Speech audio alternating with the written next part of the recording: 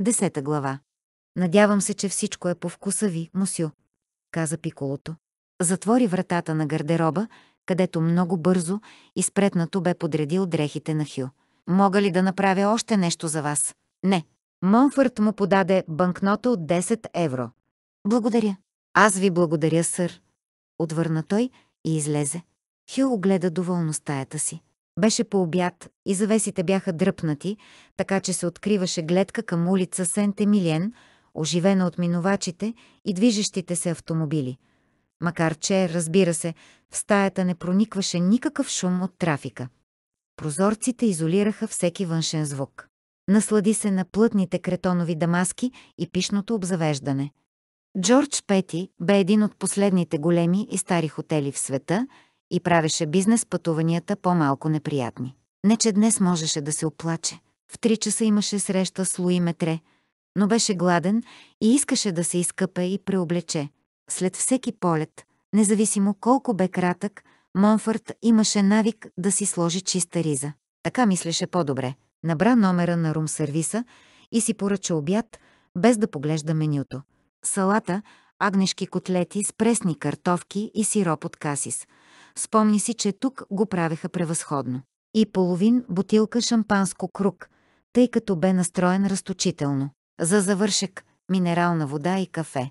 Взе си душ набързо, подсуши се и извади чиста риза и костюм. Почти веднага след това му донесоха и храната, и той похапна вкусно, макар че изпи само една чаша от виното. Всичко бе приготвено превъзходно и Хю си помисли, че трябва да идва във Франция по-често, макар и само за да хапне. От хотела бяха му предложили Мерцедес и колата вече го чакаше, когато излезе през масивните позлатени врати на хотела в 3 без четвърт. Точно в 3 часа прекрачи прага на представителния магазин на Мейбари на Рю де Пренс и повишено настроение от очакваната сделка. Макар че бе делничен ден, сряда след обед, Мънфърт с удоволствие забеляза, че магазинът е пълен с хора. Тълпи от туристи надничаха в светещите витрини. Японците и американците разпозна веднага, но му се стори, че вижда и поне десетина французойки. Освен това, мислено отбеляза, че въпреки множеството клиенти, внимателно планираното разположение в магазина даваше добър резултат. Нямаше никаква суетня и неразбория. Дискретният бледосив цвят в избран лично от него оттенък налагаше основния тон в уравновесената цветова палитра на интериора, от мекия мукет, заглушаващ потракването на дамските токчета, до сребристата подплата на котиите за бижута – а стените изглеждаха като огрени от лунна светлина. Отделните витрини бяха малки и на достатъчно разстояние една от друга. Хю се бе разпоредил бижутата на Мейбари да не се излагат плътно едно до друго в обща голяма витрина. Всяка дизайнерска линия трябваше да е представена отделно и по възможно най-добрия начин. Остана няколко минути да погледа как жените се възхищават на моделите. Ярко осветените витрини отлично подхождаха на неговата млада и модна марка. За разлика от всички останали бижутерийни магазини, тук не се налагаше да се чудиш какви са цените. Те не бяха скрити, нито изписани върху дребни хартиени етикетчета. Бяха показани на електронни екрани до всеки модел заедно с информация за вида на камъните и каратите им. Най-голямото струпване на хора бе естествено. Около колекцията Разтопено слънце – неговият триумф на наградите Оскар, но забеляза, че и другите колекции се радваха на успех. Кървава страст. Моделите от тъмно-червени и бледочервени рубини привличаха вниманието на французойките, докато японките бяха запленени от линията Лунен Оникс, в която впрочем нямаше никакъв оникс. Беше селекция от колиета и брошки от черен кихлибар, опали и черни диаманти. Идеално. Бе въпрос на мода и запалените и почитатели бяха тук, в търсене не само на известната линия, а и на следващия голям хит. Докато наблюдаваше, влязоха още няколко жени, но капацитетът на магазина за внимателно обслужване на клиентите очевидно бе вече надхвърлен. Те само измърмориха тихичко и си излязоха. Раздразнение се примеси с началното му задоволство. Естествено, че клиентите напускаха, след като нямаше място за да разгледат стоката. Подобни сцени вероятно се разиграваха в магазините на Мейбари по целия свят. Имаше нужда от по-обширно пространство и по-голяма видимост. Наистина се нуждаеше от магазините на онзи динозавър Дом Масо, Мусио. Обърна се. Нисичкият и набит Луи Метре стоеше насреща му, усмихваше се и потриваше ръце. Добре дошли, поздрави той. Виждате, че се справяме чудесно, мусю Монфърт. Така е. Хю кимна към офиса във вътрешността на магазина. Ще влезем ли? Малко е претъпкано тук. Разбира се. Последвайте ме. Метре разполагаше с чист и спретнат офис, което Хю горещо одобряваше. Настани се на един от столовете, които май не бяха от най-удобните. Не провеждам много срещи тук. Извини се, Метре. Всичко е наред. Хю махна с ръка. Е, какво става в масо, ако изобщо има някакви новини? Метре въздъхна тежко с присвити устни. Нищо, мусю. Нищичко. Тя ходи в офиса всеки работен ден. Информираха ме, че са й дали отделен кабинет. Но иначе не се случва нищо, никой не е освободен от работа. Няма промени. Все едно изобщо не присъства там. Хю кимна. Това бе леко разочароващо. В идеалния случай съпругата вече би трябвало да е внедрила някоя и друга глупава идея. Но много често я виждат в компанията на главния изпълнителен директор. Грегуар Лазар. Същият. Наредил съм на хората си да наблюдават сградата. Без всякакво притеснение заяви Метре. Той често води дамата на обяд, а миналия вторник дори я е извел на разходка извън града с колата си. И се говори, че тя щяла да го покани на вечеря в имението. Монфърт се замисли. Това определено бе нещо ново. Веднага реши, че новините никак не му допадат. Това би могло да означава едно от следните три неща. Започна да мисли на глас той. Първо, че тя наистина живо се интересува от компанията и задава много въпроси. Съмнявам се, Емосю, едва ли би започнала да се интересува чак сега. Второ, че Лазар е намислил да се ожени за нея и да контролира богатството й, както и делът и от акции в компанията. Или трето, че са влюбени, може би. Подсказа Метре. Хю леко сви устни. Мусю Метре, любовта никога не идва по поръчка. Не мислите ли, че е крайно невероятно Мусю Лазар изведнъж да се влюби до полуда в една домакиня? Но, Мусю, Метре бе от онези мъже, истински клюкари, които нямат търпение да споделят цялата информация, която са събрали. Мадам Софи не е просто домакиня, а много привлекателна жена. Сигурен съм, че е била такава, когато Масо се е оженил за нея. Не. И сега е много красива. Един момент. Вижте това. Той измъкна плик с снимки от едно чекмедже на бюрото си. Монфърт бе шокиран. Какво е това? Казахте да разбера всичко, което мога, Мусю. Извинително обясни Метре. Да, но не и да следите дамата. Отвърна Хю. Това леко го притесни. Подобни действия бяха под нивото му, много под принципите му. Грешката е моя, че не съм бил поясен. Но в бъдеще, Мусю Метре, никой не бива да следи мадам Масо, нито да я снима тайно. Напълно ви разбрах, Мусю. Метре изглеждаше леко засегнат. Предполагам, че няма да искате да погледнете тези. Хю се засмя. След като и без друго ги имате, наистина по-добре да ги видя. Взе снимките и ги разгледа мълчаливо. Метре не бе сбъркал в оценката си. Софи Масо бе изключително привлекателна жена. Дори и под ярката дневна светлина на тези папарашки снимки, тя изглеждаше елегантна и красива на всеки кадър. Красотата й не бе натрапчива. Носът й без класическа форма, а не мъничък и чип фигурата й безстройна, без обичайните едри гърди и извивки като на модните филмови гърли. Явно бе прехвърлила средата на 30-те, около очите и устата имаше едва забележими бръчици. Учтивият израз за подобни бръчици бе линии на смеха, лицето й обаче бе сериозно.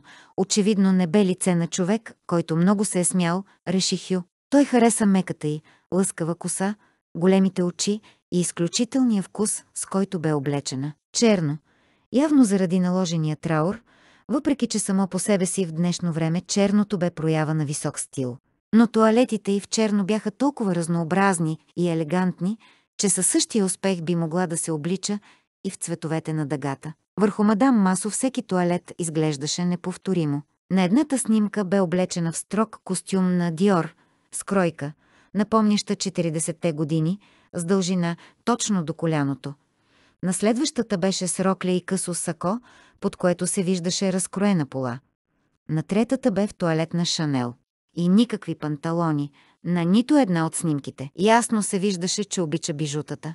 Много жени ги харесваха, но нямаха представа как да ги носят. Софи Масо очевидно притежаваше онзи инстинкт, който липсва на много от богатите жени. Не бе като херцогинята на Уиндзор, чието колекция за него бе пример за триумфа на богатството над вкуса. Бижутата на Софи Масо с изключителен усет допълваха туалета й, макар никога да не се натрапваха на погледа. Големите бели перли подчертаваха белите копчета.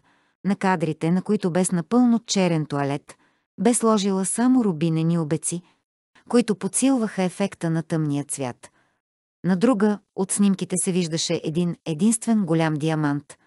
Личеше, че е много чист и стар, викторианска шлифовка. Монфърт трябваше веднага да коригира мнението си за дамата. Каквото и да си мислеше за нея, бе повече от ясно, че тя притежава невероятен стил, при който създаваше впечатление, че го постига с лекота. Той оценяваше високо различните части на облеклото й.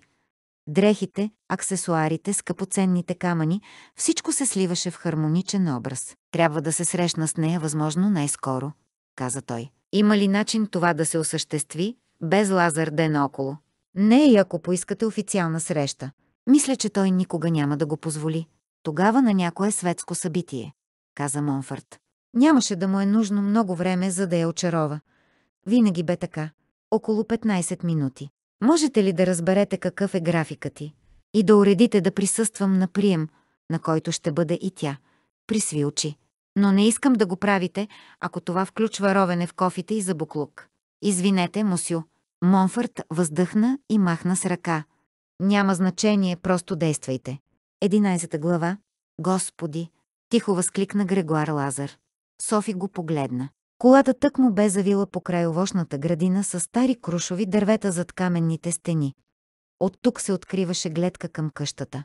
Тя бе свикнала с нея, но Грегуар, естествено, бе удивен. Той се приведе напред от към задната седалка, за да види по-добре чистите сиви стени, добили цвета на мед под блясъка на слънцето, кръглата кула с заострен купол, прозорците, изкрящи като водите на езерото – Самото езеро бе вляво.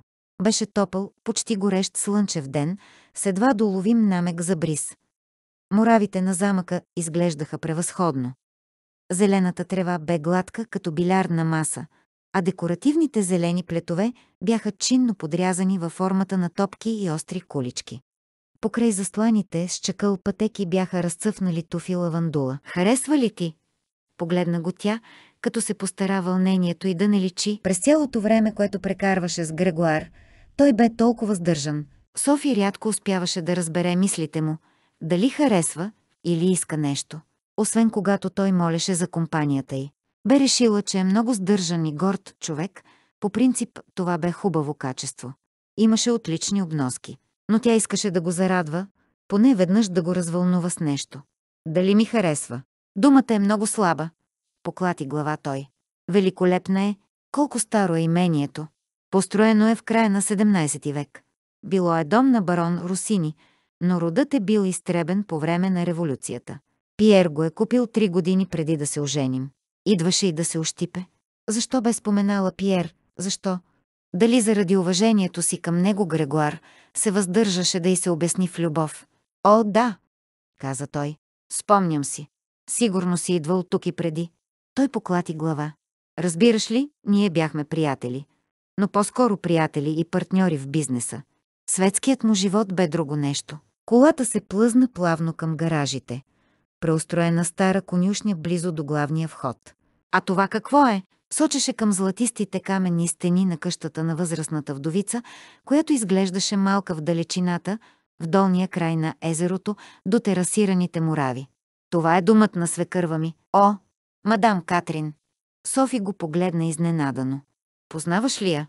Срещал съм я рядко, на фирмени събирания. След миг пауза добави почтително. Мадам Катрин се движи в много по-различни кръгове. Софи усети неудобство. Грегуар имаше предвид, че Катрин, естествено, го е пренебрегвала. Той може и да бе преуспял бизнесмен, може да бе дори дясната ръка на Пьер – но тъй като нямаше имение, човек като него не бе нищо повече от наемен работник за Катрин. Всъщност той изподели, че двамата с Пьер не са общували извън офиса. Тя притеснено се замисли дали и Пьер не се бе отнасял по същия начин с него. В такъв случай вниманието на съпруга и към нея би било още по-необяснимо. Грегуари бе споменал, че е емигрант от Полша. Тя искрено се надяваше скромният му происход да няма нищо общо с това отношение. Но най-вероятно бе точно така.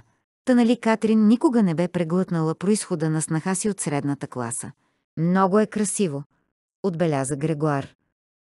Но вероятно е по-добре да отидем някъде другаде. Съвсем близо сме до Сент От и знам, че там имат много хубав рибен ресторант. Софи го погледна смаяно. Не искаш ли да видиш дома ми? Той въздъхна. Не разбираш ли? Именно защото това е твоят дом. Тя се напрегна. Седмици наред бе прекарвала почти цялото си време в неговата компания, но въпреки това Грегуар, който я караше да се чувства толкова женствена, толкова жизнена, се въздържаше да й даде знак за малко по-голяма близост от официалната. Постоянно й правеше комплименти. Изпращаше и цветя.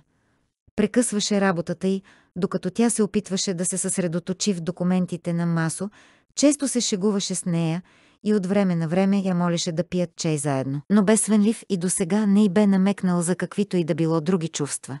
Нито бе изразил друго желание, освен да й бъде приятел. А Софи явно не успяваше да го предизвика да бъде открит. Дали пък най-сетне нямаше да сподели нещо.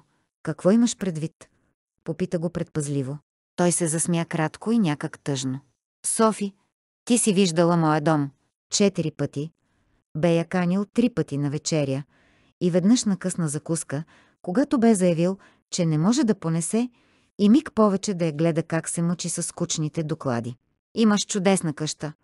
Добави тя насърчително. Грегуар живееше в съвсем нова къща в града, на булевард Ларен, елегантна тухлена сграда с високи капандури, малка градина, японски уреди в кухнята и собствен киносалон.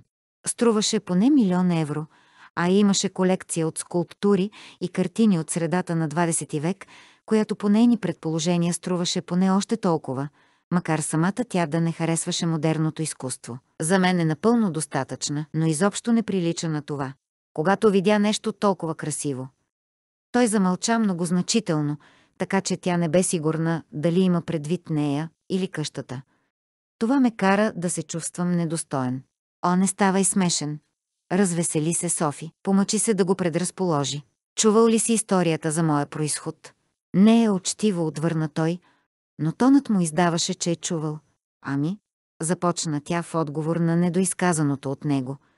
Баща ми беше собственик на местния вестник в Тънбридж Уелс, а майка ми — детска учителка.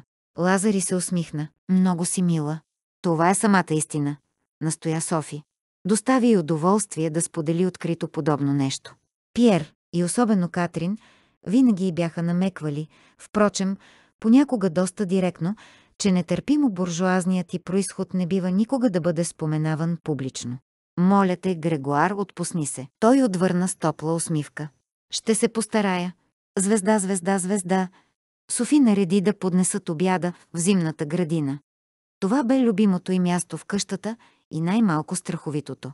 Трябваше да минат по просторния коридор с каменни плочи, с портрети и гоблени по стените, както и да прекусят жълтия салон с копринените тапети и красивите дивани, за да стигнат до там.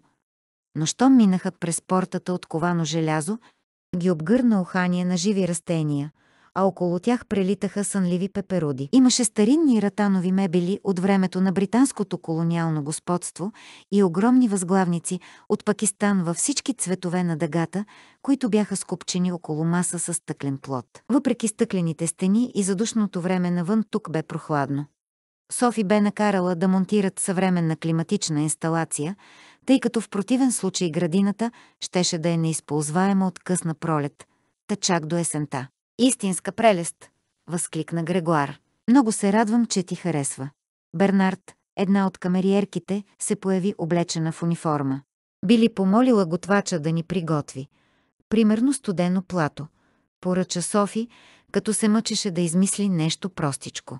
Само шунка, сирене, хляб и маслинов пастет. И плодова салата. Ти какво би искал? А какво има в менюто за деня? Тя се засмя. Всичко, което пожелаеш. Е, стига да не ти се хапва печен фазан или нещо подобно. Суфле с сирене ще ви затрудни ли много?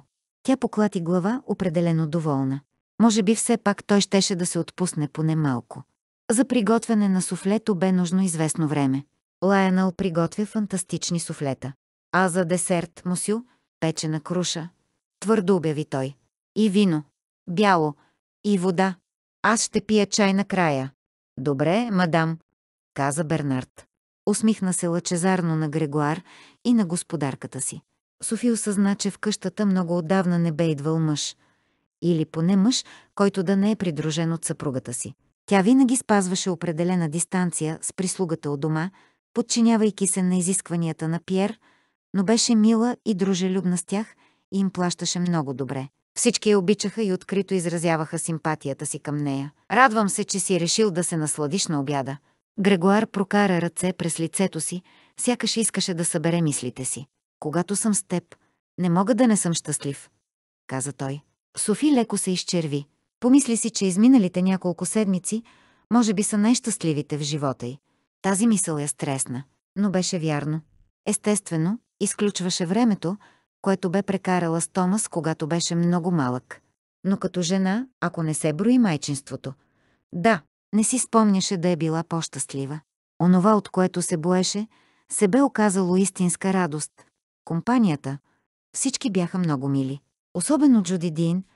Беше чудесно, че има приятелка, на която може да разчита.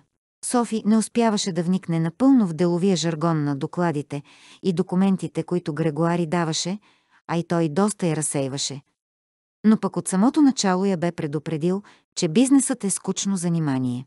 Беше напълно открит с нея, заливаше я с информация и документи, докато всъщност признаваше си тя виновно, просто и се искаше да прекарва повече време с него. Грегуар бе много различен от нейните познати, които идваха на партита в дома и два пъти в месеца, вечеряха и се веселяха, без да пропускат нито месец, точно както бяха наредили Пиер и Катрин. 20 отбрани семейства от светското общество, чието лица и бяха до болка познати и които ни най-малко не я интересуваха. Софи бе много по-близка с прислугата си. Вярно, бе заобиколена от много хора. Но едва сега започваше да осъзнава колко самотен е живота ти. Докато Грегуар се интересуваше от нея. Джуди бе забавно момиче. Софи наистина си нямаше никого. Освен отец Сабен, стария свещеник в селото. Той бе добър приятел. Но, естествено, бе свещеник. 70 годишен. Нека то. Грегуари се усмихваше. Софи отново се загледа в светлите му очи, русата коса и спънатите рамене. Сигурно ти си проектирала това място. Така е. Как позна? Останалата част от къщата прилича на музей. Благодаря ти. Но поне можеш да докосваш всичко тук. Радвам се за това. Тихо и многозначително каза той, че мога да докосвам разни неща. Софи се изчерви още по-силно и усети слаба, почти незабележима вълна в корема и гърдите си. Извърна поглед смутена. Градината е пълна с живот. Спокойно продължи Грегуар, сменяйки темата. И светлина. Няма как да не е твое дело. Предполагам, че е много приятно през зимата. Мразя зимната мрачевина. О, аз също, възкликна Софи. Точно за това исках да направим зимната градина, за да мога да бъда едновременно и навън, и все пак на закрито. Когато е много студено, идвам тук и се наслаждавам на цялата тази светлина. Това ми помага да не изпадам. Прехапа устни. Не искаше да изрече в депресия. И аз се чувствам точно по същия начин през цялата зима. Как казвате на английски? Великите умове мислят еднакво. Така е, съгласи се Софи и двамата се разсмяха. О, мадам, каза той и стисна ръката й. Толкова ми е приятно с теб. За мен това е безценен дар. Обядът е сервиран, обяви Бернард, която в този момент се появи с табла божествено ухаещо блюдо. Софи се дръпна рязко от Грегуар, сякаш е бе ударил ток. Камериерката обаче се усмихна разбиращо и Софи се зае да възхвалява храната, за да отклони вниманието от реакцията си. Грегуар сякаш нямаше нищо против.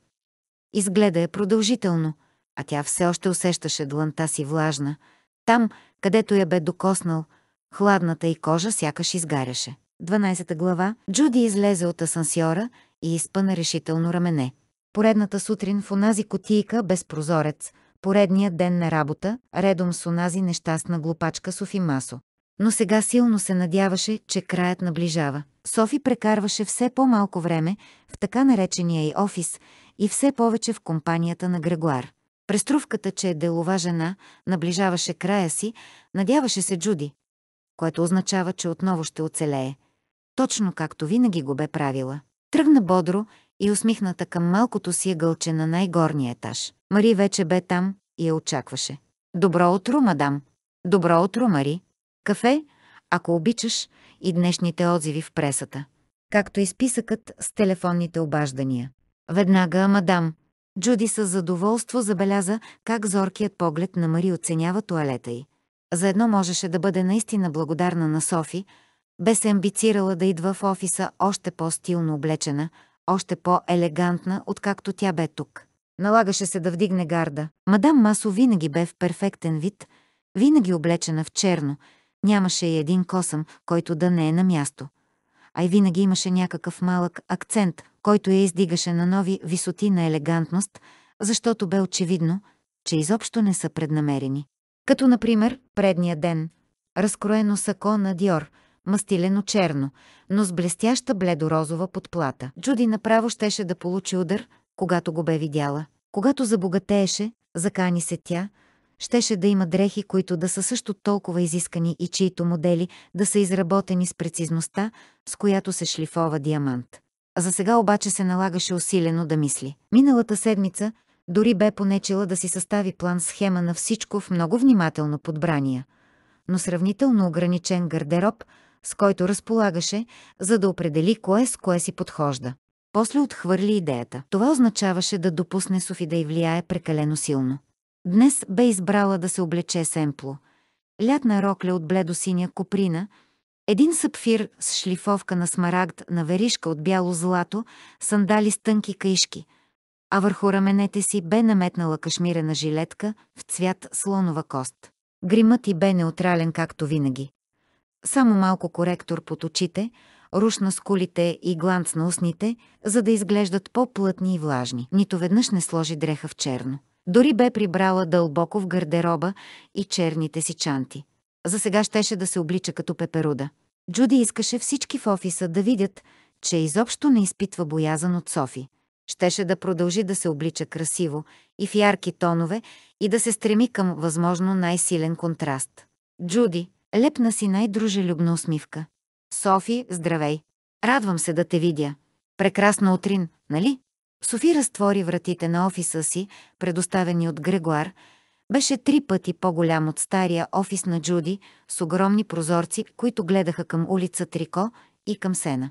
Върху старинното и орехово бюро имаше малка сребърна ваза и жълти рози с къси дръжки. Грегуар бе наредил всеки ден да слагат свежи цветя. Джуди погледна розите завистливо, после се стегна. Нямаше да се занимава с непродуктивни мисли. Харесваше и този офис. Добре, тогава да си състави план. Това би могъл да е нейният кабинет, когато вдовицата си замине и тя получи поста старши вице-президент.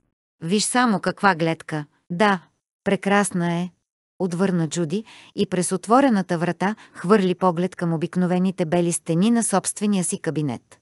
Отново ще е топъл де, но в прогнозата май споменаха за кратко преваляване по обяд. Което би било идеално, нали?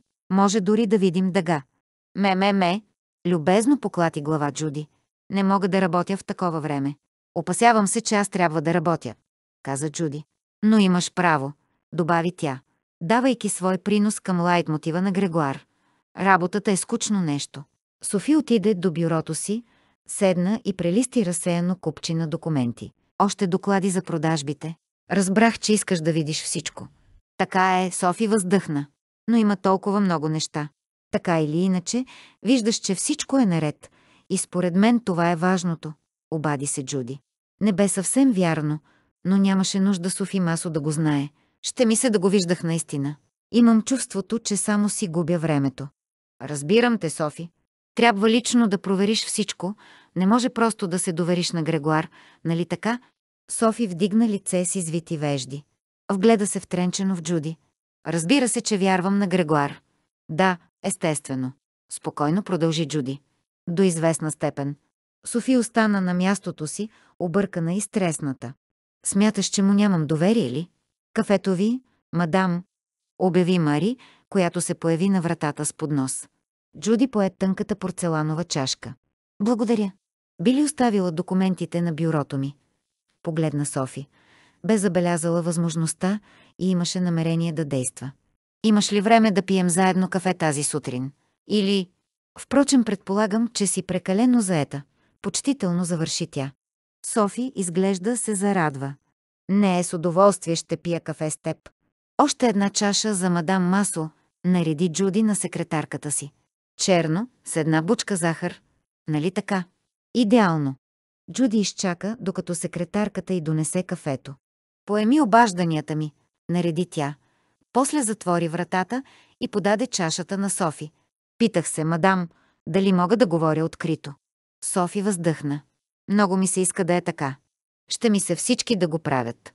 И още нещо, Джуди, колко пъти трябва да ти напомням, наричай ме само Софи. Ами, да, просто въпросът е леко деликатен. Тя се усмихна смутено. Разбираш ли, мусю Грегуар ръководи дом Масо, откакто, знаеш. Да, сухо се съгласи Софи. Знаеше. Той работи много усърдно, лоялно продължи Джуди. Непрекъснато е в офиса. Вярвам, че прави най-доброто за компанията, всеотдаен е. Събеседницата й се усмихна, зарадвана да чуе подобно описание на Грегуар. Значи е добър шеф. Най-добрият, поклати глава Джуди. Смяташе, че много скоро ще успее да превърне тези думи в истина.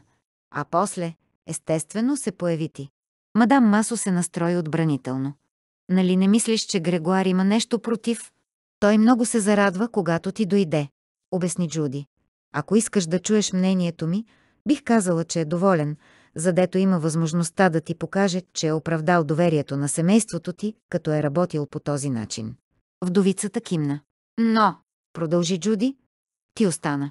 Софи, ти остана и продължи да преглеждаш детайлно всеки един доклад, макар че той ти бе резюмирал всичко. А и още си тук.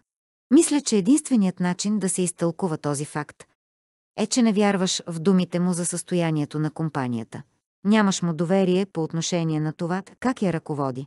Жената срещу нея изглеждаше шокирана. Естествено, това е твое право, имаш пълно основание да не се доверяваш никому. Продължи Джуди. Ти си председател на борда на директорите. Софи остави чашата с кафе, изправи се и започна да крачи напред-назад край прозорците. Ами ако американката беше права? Ако Грегуар гледаше на положението си точно по този начин? Нищо чудно, че не бе дал израз на чувствата си. Не бе казал нищо на глас. Така ли смята той? Попита тя. Джуди свира мене. Беше като видение в това кремаво и бледо синьо. Ако ти беше на негово място, какво щеше да си помислиш? Попита тя. Естествено, аз го познавам само професионално, като колега. Това не беше вярно. Изобщо не можеше да се каже, че познава Лазар. Съвсем доскоро се бе старала да го избягва напълно. Но той е много горд с работата си, заключи тя. Софи погледна отчаяно камарата документи, струпани върху бюрото й. Не можеше да им хване края. Добре ли вървят нещата с Дом Масо? Абсолютно, както е било и през последните няколко години. Моментално и с желязна убеденост отговори Джуди. Забавното бе, че беше вярно. Нищо не се е случвало тук. Правим нови колекции. Продаваме ги. Отново правим нови колекции. Подобно изреждане звучеше леко скучновато и потискащо, което бе горе-долу точната картина. И докато си мислеше за това, Джуди необмислено добави. Всъщност не се е случвало нищо извънредно след последния случай с Хю Монфърт. Какъв случай? Попита Софи. На Джуди и се прииска да си прехапе езика. О, нищо интересно, каза тя. Има един човек, Хю Монфърт, който работи за една американска компания, Мейбъри. Никога не съм ги чувала. След като познаваше класическия стил на Софи, Джуди изобщо не се изненада. Толкова по-добре, тъй като нямаше да бъде запленена само от името, както се случваше с мнозина. Правят ефтини бижута, нямат нищо общо с Дом Масо. Най-добрата лъжа бе да пусне в ход част от истината. Хю Мънфърд си мислеше, че би могъл да разшири компанията си и да вземе нашата да я погълне. Софи попита. И какво стана? Съпругът ти не можеше да понася този човек. Прати го по дяволите и него, и офертата му. Значи се е случило преди доста време. Ами да. След това, обаче, Монфърт на няколко пъти отново се опита да се добере до нас. Софи се замисли. Явно е опорит.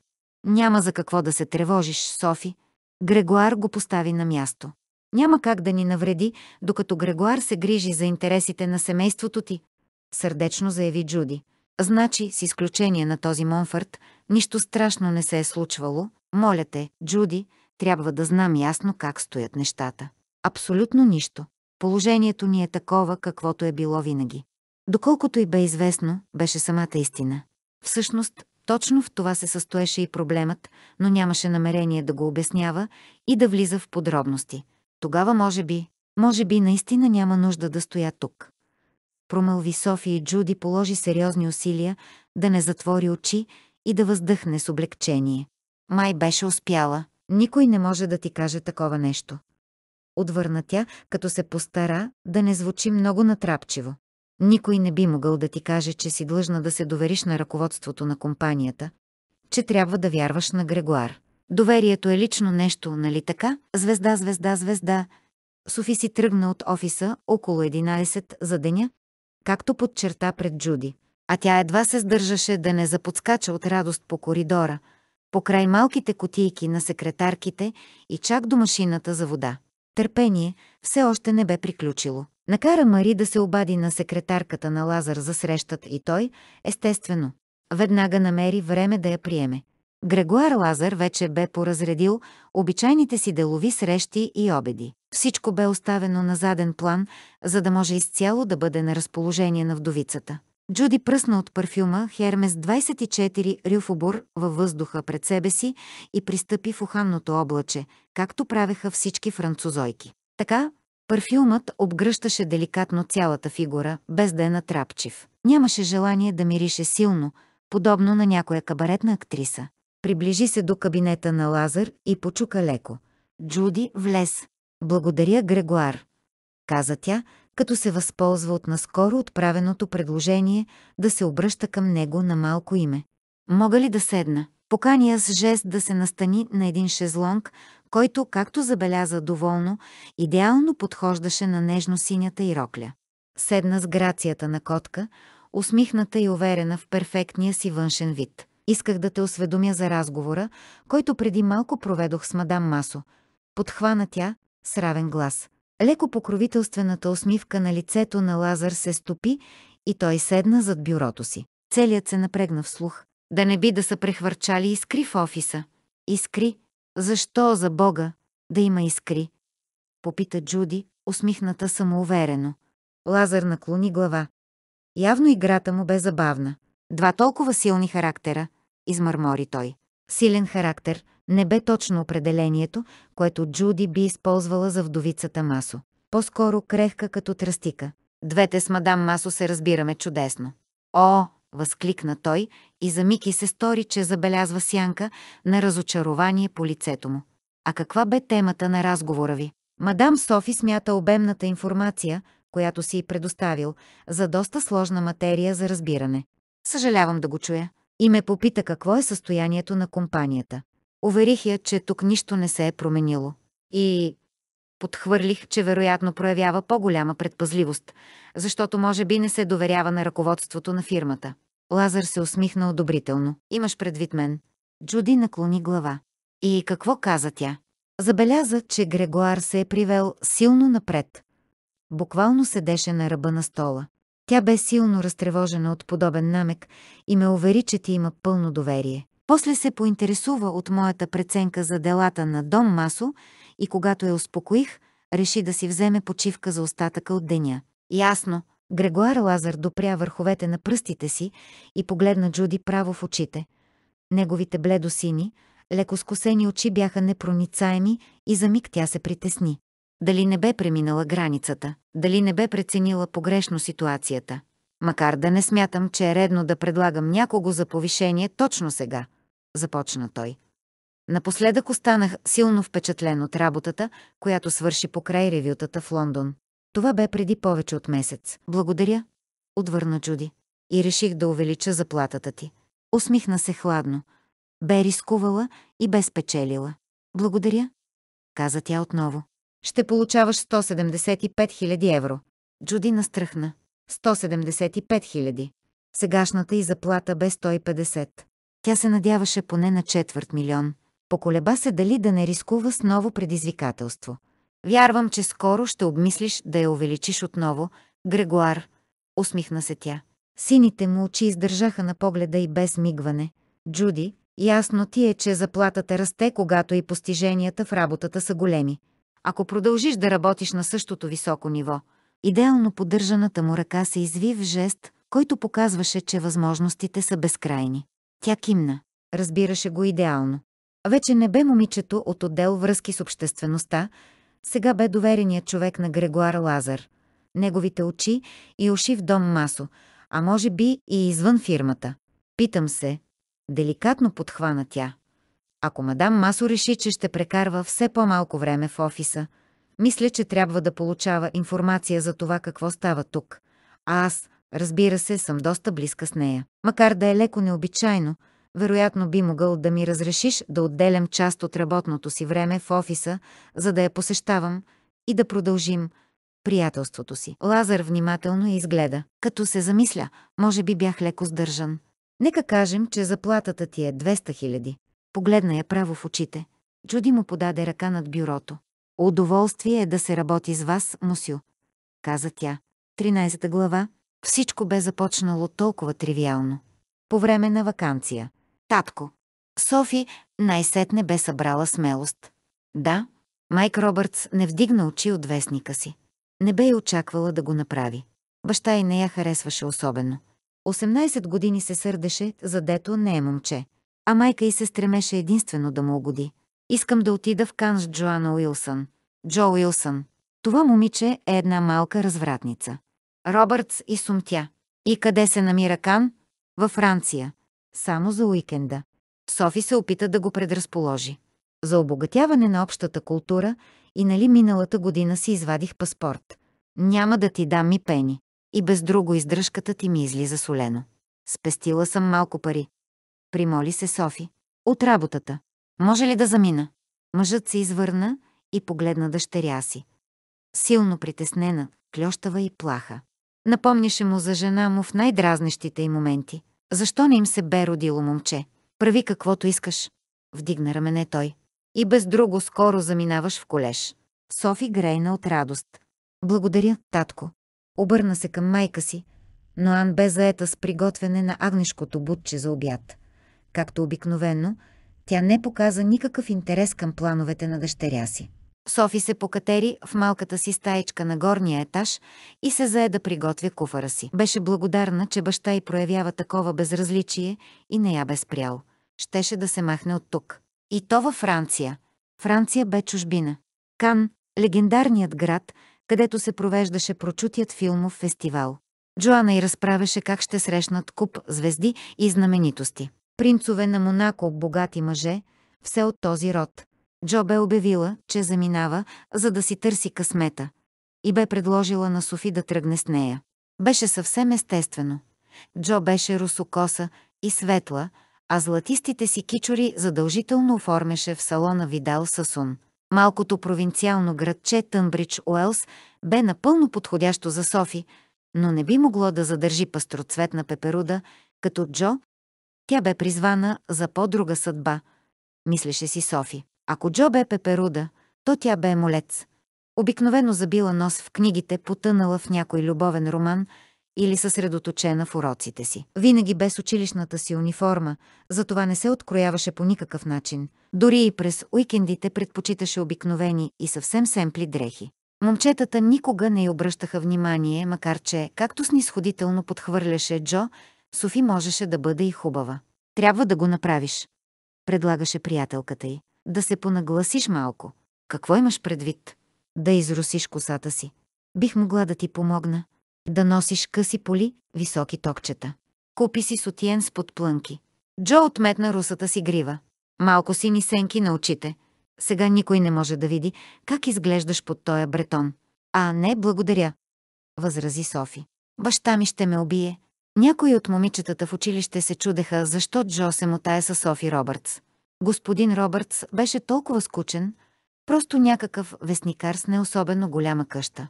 Тя дори нямаше и хубави братя. Софи обаче знаеше защо. Джо не обичаше да има конкуренция, а тя не бе никаква заплаха за нея. Самочувствието й бе толкова осъкатено от липсата на любов от страна на егоистичните й родители, че бе безкрайно доволна, задето просто има приятелка. Мотивите на тази приятелка нямаха значение, никакво, а тази вечер бе още по-щастлива. Щеше да бъде компаньонка на Джо във Франция, на истински чуждестранен плаш, където щеше да види истински филмови звезди. Един кратък поглед, хвърлен към истинския живот извън рамките на нещастното и детство в малкото градче. Можеше дори да се окаже слънчево, кой знае. По телевизията винаги даваха слънчево време в чужбина. Софи погледна таванския прозорец, върху който бърбанеше дъждът, и се озърна в тясната и сива стайчка, като отправи гореща молба към небесата да не би да се обърка нещо. Дано баща и да не измисли някакво извинение, за да я спре. Тогава я очакваше все същото ежедневие. Да стои със сведена глава и да не му се мярка пред очите. Звезда, звезда, звезда. Скучно ми е, заяви Джоана. Облегна се върху фините завивки на хотелското легло. Скучно ли? Шокира се Софи. Как Джо бе могла да каже подобно нещо? Послушно я бе следвала навсякъде. Бяха видели толкова много филмови звезди и красавици, а Джони Холидей, известният френски певец, дори бе намигнал на Джо. Софи го забеляза. Бяха пили вино, Джо май тотално прекали. И бяха хапвали круасани, къпаха се в морето. Всъщност Джо прекара доста време на пясъка, за да показва невероятните си червени бикини. Софи имаше цял бански, но бе прекалено свенлива, за да го носи, и затова остана с късите си панталони и чехлите. Не сме излезли с никого. Нали пихме кафе с онези французойки, възрази и Софи. Пфу! Момичета, презрително отрони Джо. Не съм дошла заради момичетата. Искам да си намеря гадже. Или да срещна някой филмов режисьор. Прокара пръсти с ярко-червени ногти през косата си, като се оглеждаше в огледалото на вратата на гардероба. Дойдох, за да бъда открита. Повечето мъже са много по-възрастни от нас. И какво от това, скъпа? Зрелите, преуспели мъже харесват млади момичета. Може би някой ще ни покани на яхтата си. Развълнувано размаха ръце Джо. Софи се изчерви. Момичетата по яхтите често седяха на палубите, без горнище на банските си и показваха гърдите си на целия свят. Не мисля, че баща ми ще одобри такова нещо. Баща ти не харесва нищо от онова, което правиш изтъкна Джо с жестока прямота. Поживей си, Сов, или поне гледай как го правя аз, засмя се звънливо тя. Преметна дългите си крака над леглото и отвори рязко вратата на гардероба, която заяждаше. Ефтин мотел и сумтя тя. Трябва да живеем в лукс. Софи се разсмя. Едва ли ще ни се случи? Нали не си въобразяваш, че ще срещнеш принца от приказките? Ако някой може да го срещне със сигурност, ще съм аз, убедено заяви Джо. Гледай, пазя специално. Какво ще кажеш? Извади прозрачна бяла рокля и я вдигна пред себе си. Дрехата прилепваше върху извивките на слабото й тяло. Беше с опасно дълбоко деколте и бе толкова къса, че едва покриваше ханшей. Софи се засмя. Сериозно говоря, настоя Джо. Ще бъда много секси. Мисля, че е малко прекалено. Приятелката й се нацупи. Ти изобщо не искаш да се забавлявам. Не си ли забелязала как се обличат другите момичета? На мен ми остана само розовата рокля. Тя й беше любима. Моделът беше копиран от едно списание, носеше го Джаки Кенеди. Стигаше до коленете и беше с елегантно лодка деколте, при това Софи смяташе, че с нея изглежда по-голяма. Скучно, отсече Джо, ти си носи твоята, а аз ще облека бялата. Ще идем на круазет. Вчера чух да говорят, че Пьер Масо щял да бъде там. Поредната филмова звезда. Въздъхна Софи. Звездите никога не се оказваха там, където Джо бе планувала, и двете само обикаляха и ги търсеха, докато им излязат мазоли заради високите платформи на сандалите. Не, той е французин, бижутер. Притежава онази известна верига магазини, като Жарар или нещо подобно. О, да, сети се Софи. Обичаше бижутата, макар че нямаше нито едно – но и харесваше да ги гледа в списанията на Джо и да се възхищава на онези, които ги носеха, манекенките и принцесите. Все едно, Той е прекрасен и безумно богат. И се говори, че обича красивите момичета. Джо вече сваляше джинсите си и посегна към парчето бял плат. Само гледай, Исов. Това е моята вечер. Усещам го. Звезда, звезда, звезда. Плажът Круазет бе претъпкан. Нощта бе топла и лекият бриз от към морето бе приятен. Както и ароматите, които се носеха от ресторантите наоколо, всички пълни до пръсване.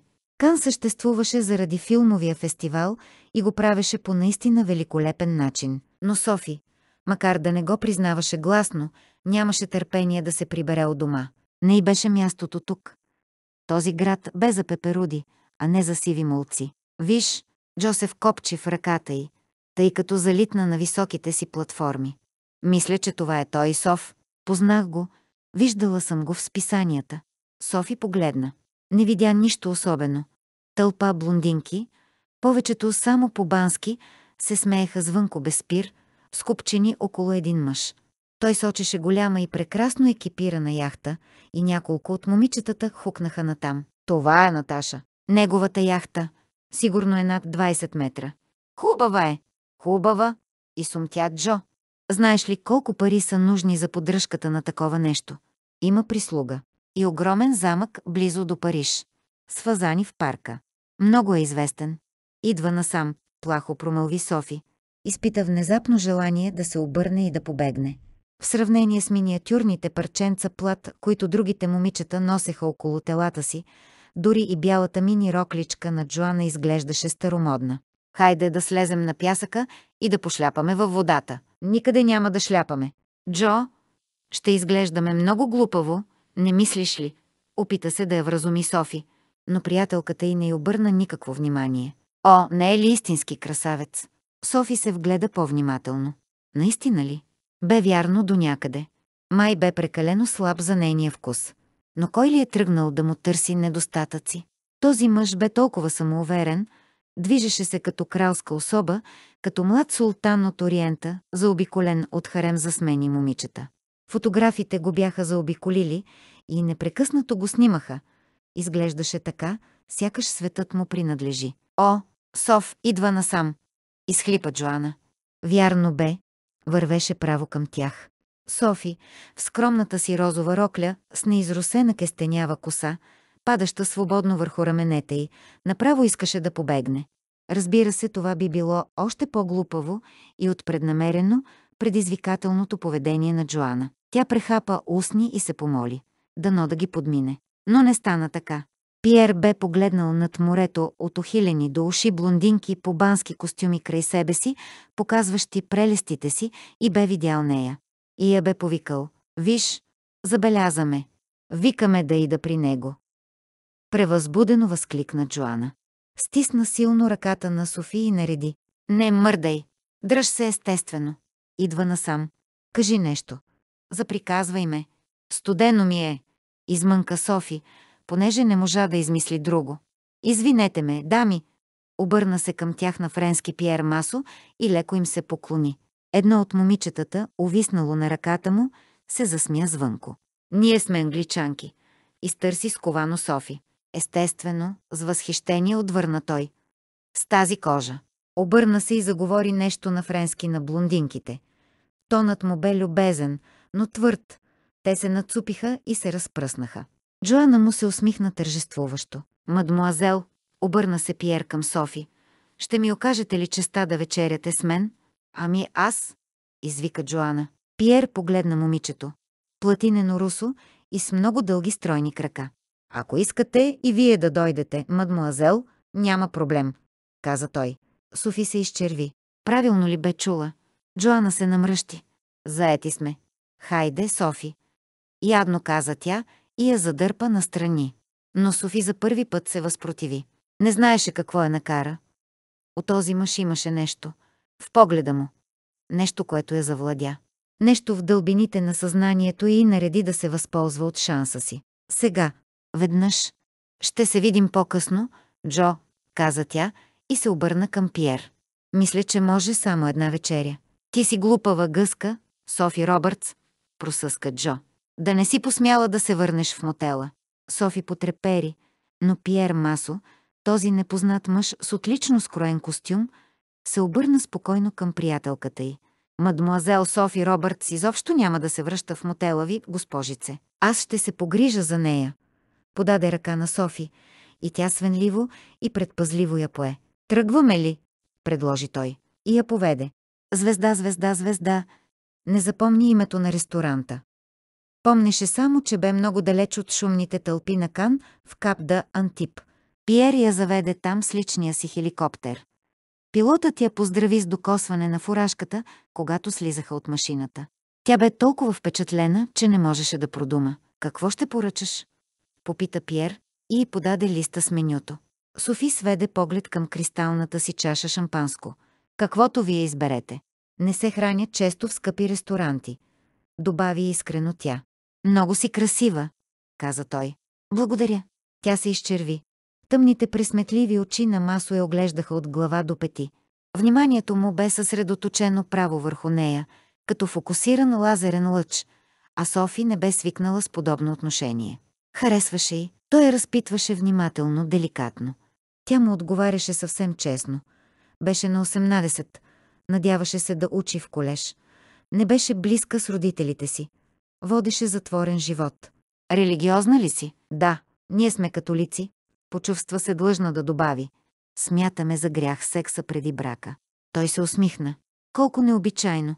Имала ли си много приятели, момчета? Нито едно. Открито заяви Софи. Не се интересуват от мен, защото... Ами, не съм много хубава. Тя притеснено отметна кичур кестенява коса за тухото си. Глупости. Прелесна си. Каза го толкова категорично, че тя грейна от удоволствие. И макар да не разполагаш с големи възможности, притежаваш естествен стил. Отпи от чашата си. Никакви момчета. Значи си чиста като сълза. Кажи ми, харесваш ли живота си? Не особено, погледна го втренчено. Има ли човек, който да харесва живота си? О, да, засмя се. Аз, значи сте голям късметлия. Само пределям съдбата си. Уверено и кимна той. Софи го погледна с възхищение. Естествено, след като му бе казала, че няма да правят секс, никога вече нямаше да иска да я види.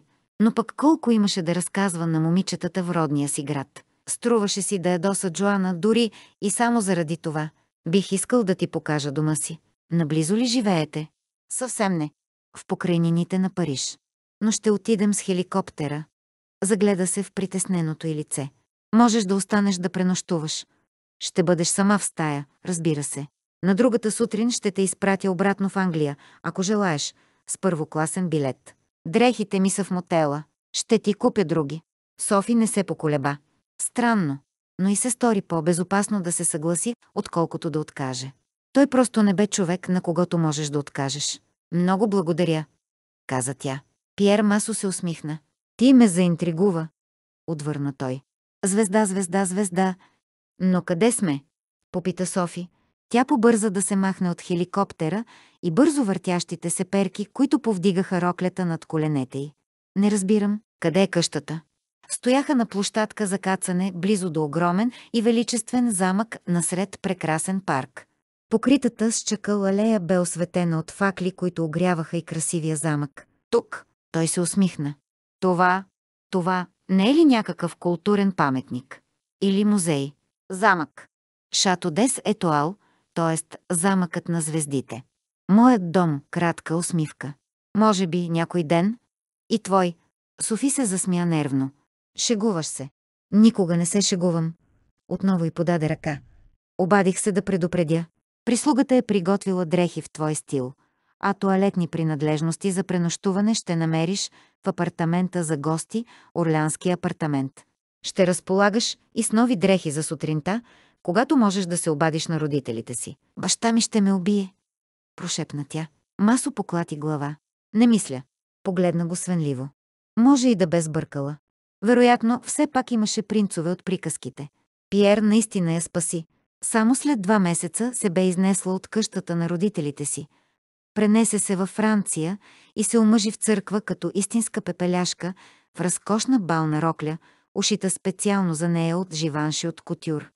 Тя с крошовидни диаманти и старинни сатенени пантовки, а после бе отведена с каляска, теглена от коне, в собствения си замък, където в замяна на цялата приказка и на мъжа, който казваше, че я обича, тя можеше да предложи единствено девствеността си. Пиер бе идеалният съпруг. Даваше и всичко и не предявяваше големи очаквания. Софи също. И макар да се страхуваше и да се чувстваше скована от свекърва си, бе идеалната съпруга. Покорна, изпълнена с желание да му угоди, готова да учи нови неща. Бе му позволила да извае личността й. Разбираха се прекрасно. Първата година бе изминала много приятно. Но непрекъснато имаше усещането, че е избягала от някъде. След това, ами, вълнението сякаш бе помръкнало поне до някъде. Е, не много. Тя не можеше да си представи, че ще прояви нелоялност.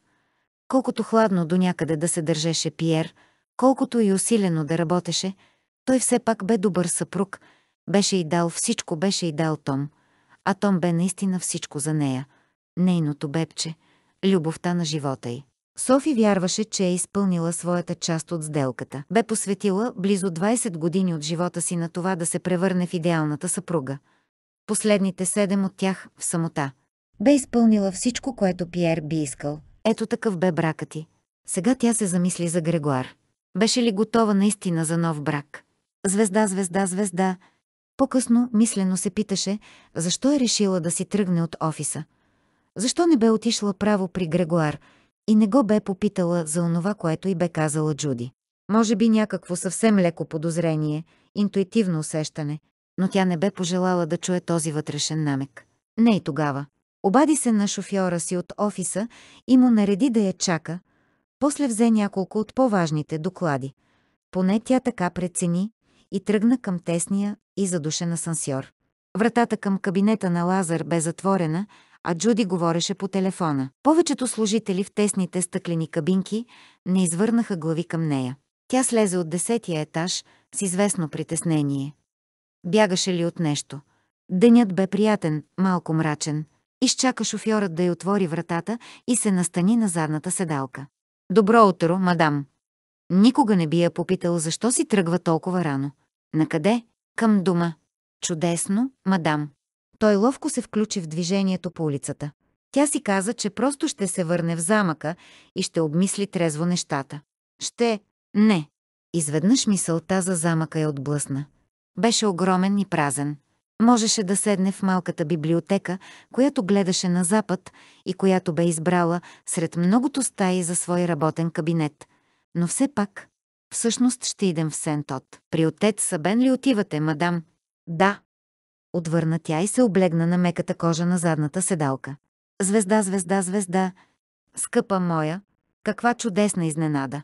Надявам се, че не те притеснявам, отче. Никак даже. Нямам никакви ангажименти. Влез, влез. Софи се усмихна благодарно на възрастния човек, който я канеше да влезе в къщата на енорийския свещеник. Отвори малката портичка от ковано желязо, влезе в двора и мина по каменните плочи на алеята, която прекосяваше малката градинка на свещеника. Отец Сабен бе голям почитател на английските градини и с голяма грижа бе отгледал теменушки, ружи и лупини, както и глицинии и диви шипки. През лятото тясното му дворче изкреше от цветове и ухаеше божествено. Не съм те виждал отдавна. Отбеляза той меко. Чай! Да, благодаря. Софи приседна както винаги на ръба на един от старите му футьойли, разръфани от ногтите на отдавна починалия му любим котарак Лутер.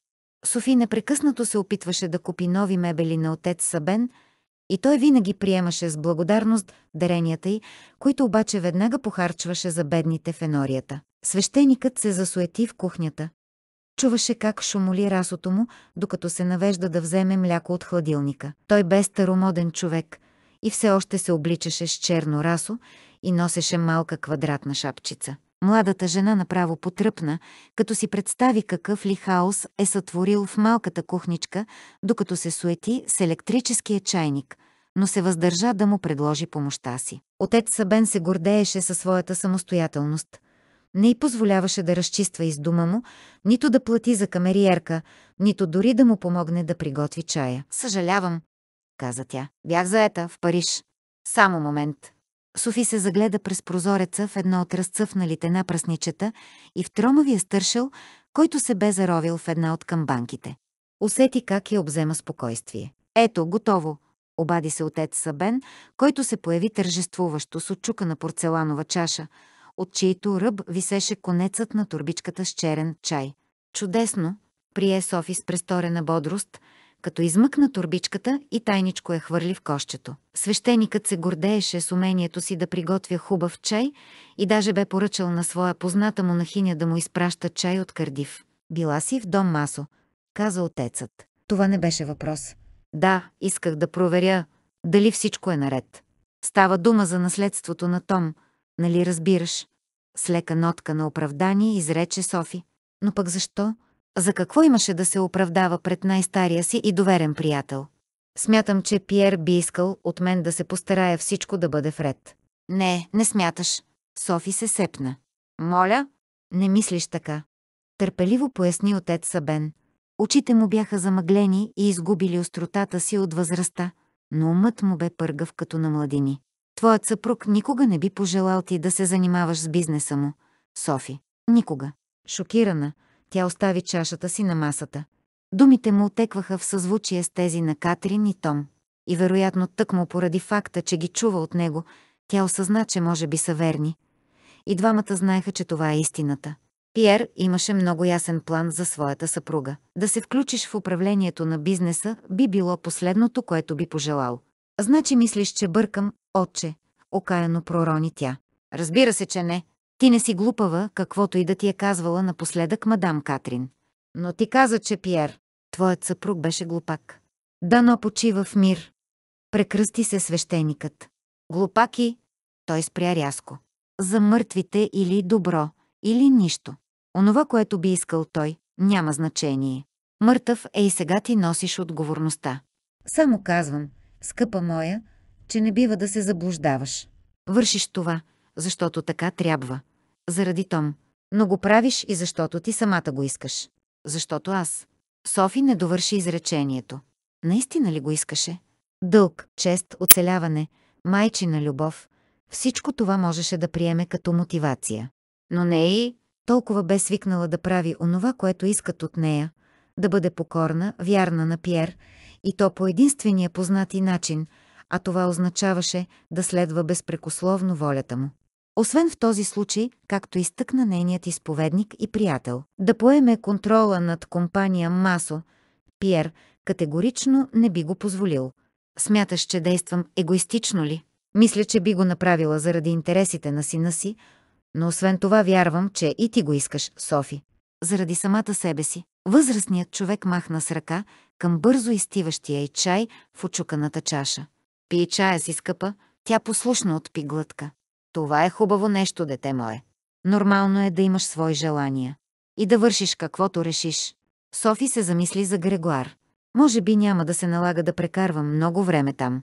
Имам доверие на ръководството на компанията. Май не ми казваш всичко. Погледна я той проницателно. Да не би да има някой мъж. Софи се изчерви силно. Отче! Аха! Той се засмя. Така си знаех. Това не е грях. Притеснено отрони тя. Защо да е грях? Ти си вдовица. Имаш смъртен акт за съпруга си. Аз, естествено, смятам такъв съпруг за голяма грешка. Софи отпи голяма глътка от чая за подкрепа. Това не бе в стила на отец Сабен. Абсолютно не беше. Обикновенно обсъждаха само разни скучни неща, като случките в селото. Явно си срещнала този мъж в офиса. Откъде знаеш? Възкликна Софи. Мило, мое момиче, та ти не си излизала никъде другаде. О, а и си много богата, скъпа, освен това си по-високо поставена от него. Как се казва на английски? Ти си негов шеф. Той има собствени пари. Богат човек е. Тя се опитваше да се съпротивлява като животинче, което мъкнат към клетката. Богатите никога не отказват още пари. Изтъкна отец Сабен. Разбира се, решението си е твое, скъпа моя. Но някои хора са свикнали да смятат, че не можеш да се справиш сама. Софи се сети за Катрин, за Пиер, за миг дори и за Том. Внимавай да не се окажат прави. Звезда, звезда, звезда. Прибра се в замъка и поръча да й донесат чай. Този път не от турбичка с конец, а истински черен чай и кифлички с ягодов конфитюр.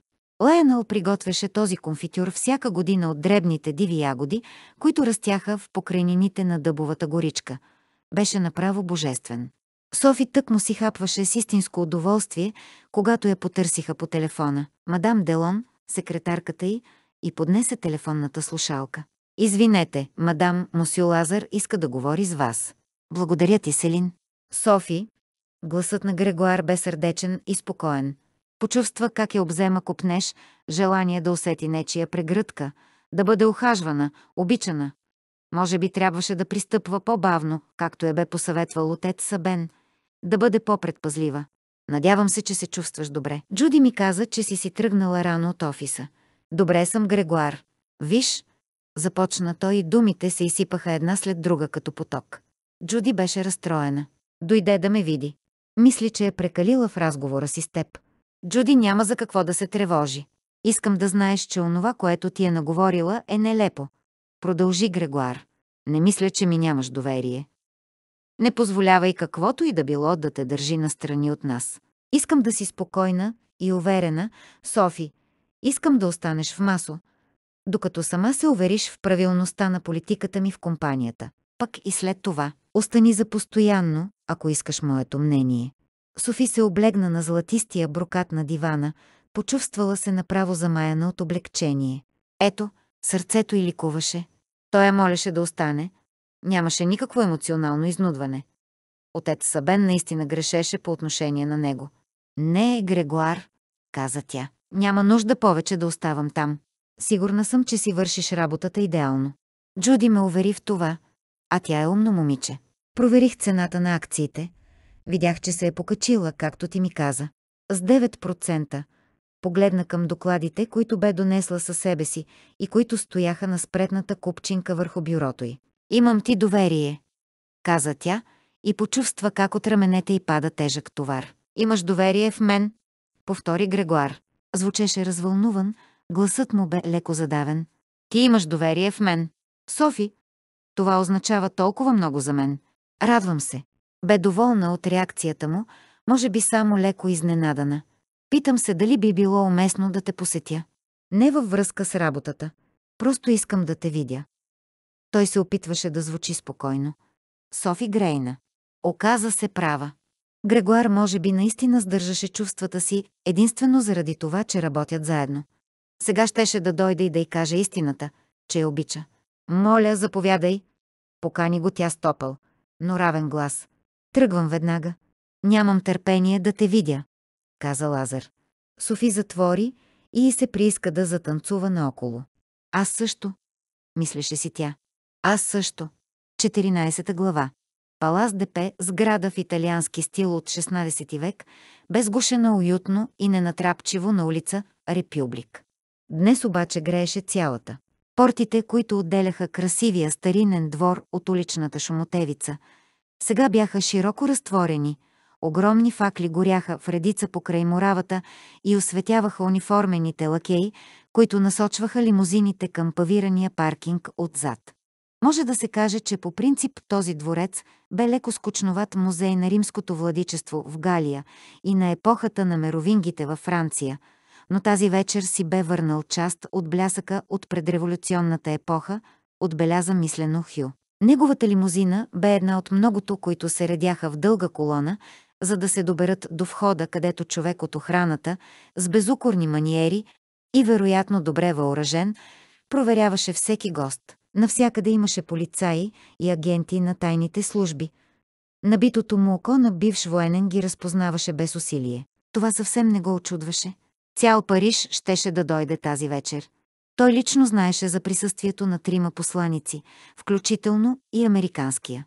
Събитието бе благотворителна вечер за събиране на средства за повишаване на грамотността, чийто домакин бе съпругата на френския президент. Присъствието на всички тези високопоставени персони на практика бе задължително. Луи Метре трябваше да мобилизира най-добрите си връзки, за да му уреди покана почти в последния момент – но бе успял. Хю си помисли, че човекът заслужава премия. Беше като истинско ловно куче, преследваше целите на Хю като териер. О, най-сетне бе дошъл и неговият ред. Име – Хю Монфърт. Мъжът прегледа списъка си. Почитаемият Хю Монфърт. Да, потвърди Хю.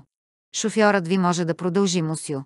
Настанен сте на 23-та маса. А дали е пристигнала моята приятелка Софи Масо? Любезно се осведоми Хю. Забравих на коя маса е. О, да, мосю. Мадам Масо бе сред първите гости. Отвърна човекът с много по-приветлив тон. Тя е сред големите ни спонсори. Настанена е на момент. Пета маса, мусю. Благодаря, каза Хю. Да продължаваме. Усмихна се. Предвкусваше сравнително лесния успех. Звезда, звезда, звезда. Балната зала бе преобразена след като бяха махнали витрините с експонати. Организаторите на партито бяха надминали себе си с тази поръчка. Вместо да се мъчат да свържат по някакъв начин декора с грамотността, бяха предпочели класическата елегантност. Имаше струнен квартет в смокинги, стените бяха покрити с плътна от ефирен бял шифон, наоколо в кристални свещници грееха хиляди свещи, цялата зала излъчваше някакво омекотено и чисто сияние, истински извънземен оазис. Приближи се сервитьорка, която му предложи чаша шампанско. Той благодари с усмивка и прие. Пери е жуе, отбеляза мимоходом. Не беше отлежало, но беше добро. Ловко се промъкна между масите и потърси номер 5, зърна я на няколко метра по-напред. Огледа внимателно тълпата от гости, зоркият му поглед обходи стотиците богати и красиво облечени дами. Къде можеше да бъде тя? Къде? О, ето я! Бе застанала до една колона и разговаряше с по-възрастна жена, облечена в семпла червена рокля. Веднага прецени, че Софи Масо е безукорно облечена. В дълга до земята черна рокля, коприна върху сатен и шал от черна дантела, очевидно старинна изработка. Със сигурност бе и с обувки на висок ток, които не се виждаха, но Хил безпогрешно знаеше това. От начина, по който бе изправено тялото й. А какви обеци! Зашеметяващи! Крошовидни диаманти, които изкряха като дъждовни капчици и разпръскваха светлина наоколо, като потрепваха при всяко помръдване на главата й. Те допълваха красотата на източената й шия и нежните извивки на лицето й, като омекотяваха строгата линия на прическата. Кестенявите кичори бяха прибрани в строго официален кок. Монфърт горещо одобри туалета й. Изглеждаше съвършено изискан. Но стилът, разсъждаваше мислено той, бе едно. А бизнес уменията — нещо съвсем друго. Тази жена бе позволила на съпруга си да развратничи из цяла Франция съвсем открито, години наред. Припомни си всичко това и леко опрекна собствената си лекомисленост, която го бе накарала, макар и мъничко да залитне в оценката си за тази жена, само заради външния й вид. Замислено отпи от шампанското си и се огледа да зърне Грегуар Лазар. Не се виждаше наоколо. Хю изчакваше. Човекът би могло да е до туалетната или да вземе питие за Софи, а можеше да разговаря наблизо и с някоя от групичките гости. Поигра си с чашата и изчака цели 10 минути. Но мадам Масо явно беше без придружител. Най-сетне дамата в червено се отдалечи и Софи се запъти към масата си. По лицето й за миг се изписа лека сянка на досада, но той забеляза, че тя бързо я прикри. Да, не биваше да се изненадва, че дамата има светски обноски. Какво друго обаче бе научила през всички тези години? Това бе моментът. Хил, който никога не чакаше шансът да почука два пъти на вратата му, тръгна смело към нея. Извинете, мадам Масо. Тя се обърна и мигновено вдигна глава при звука на английски акцент. Диамантите на ушите й затанцуваха и заискриха под светлината на свещите. Забеляза, че очите й са сиви, необичаен цвят, много красиви. Да, отзова се тя. Хю се поклони леко. Мисля, че не се познаваме лично, каза той. Питах се дали бих могъл да отнема няколко минутки от времето ви, мадам. Казвам се Хю Монфърт. Тя леко трепна, но веднага се овладя. Хю си каза, че би било прекалено да очаква, че изобщо няма да е чувала за него. Разбира се, господин Монфърт. Отвърна му хладно. С какво мога да ви бъда полезна? Той отбеляза колко приятен глас има, акцентът и бе от Южна Англия, приятно модулиран от дългите години, прекарани от сам Ламанша. Имам предложение за вас, мадам Масо, и предпочитам да поговорим, когато не сте заобиколена от съветници, започна Хю. Озария с онази пряма и топла усмивка, която караше жените на три континента да подгъват колене. Вие сте начело и искам да говоря направо с вас. Господин Монфърт. Сега гласът ти режеше като лед. Това е светско събитие, сър. Надявам се, че не се каните да повдигнете делови въпрос. Хю замръзна.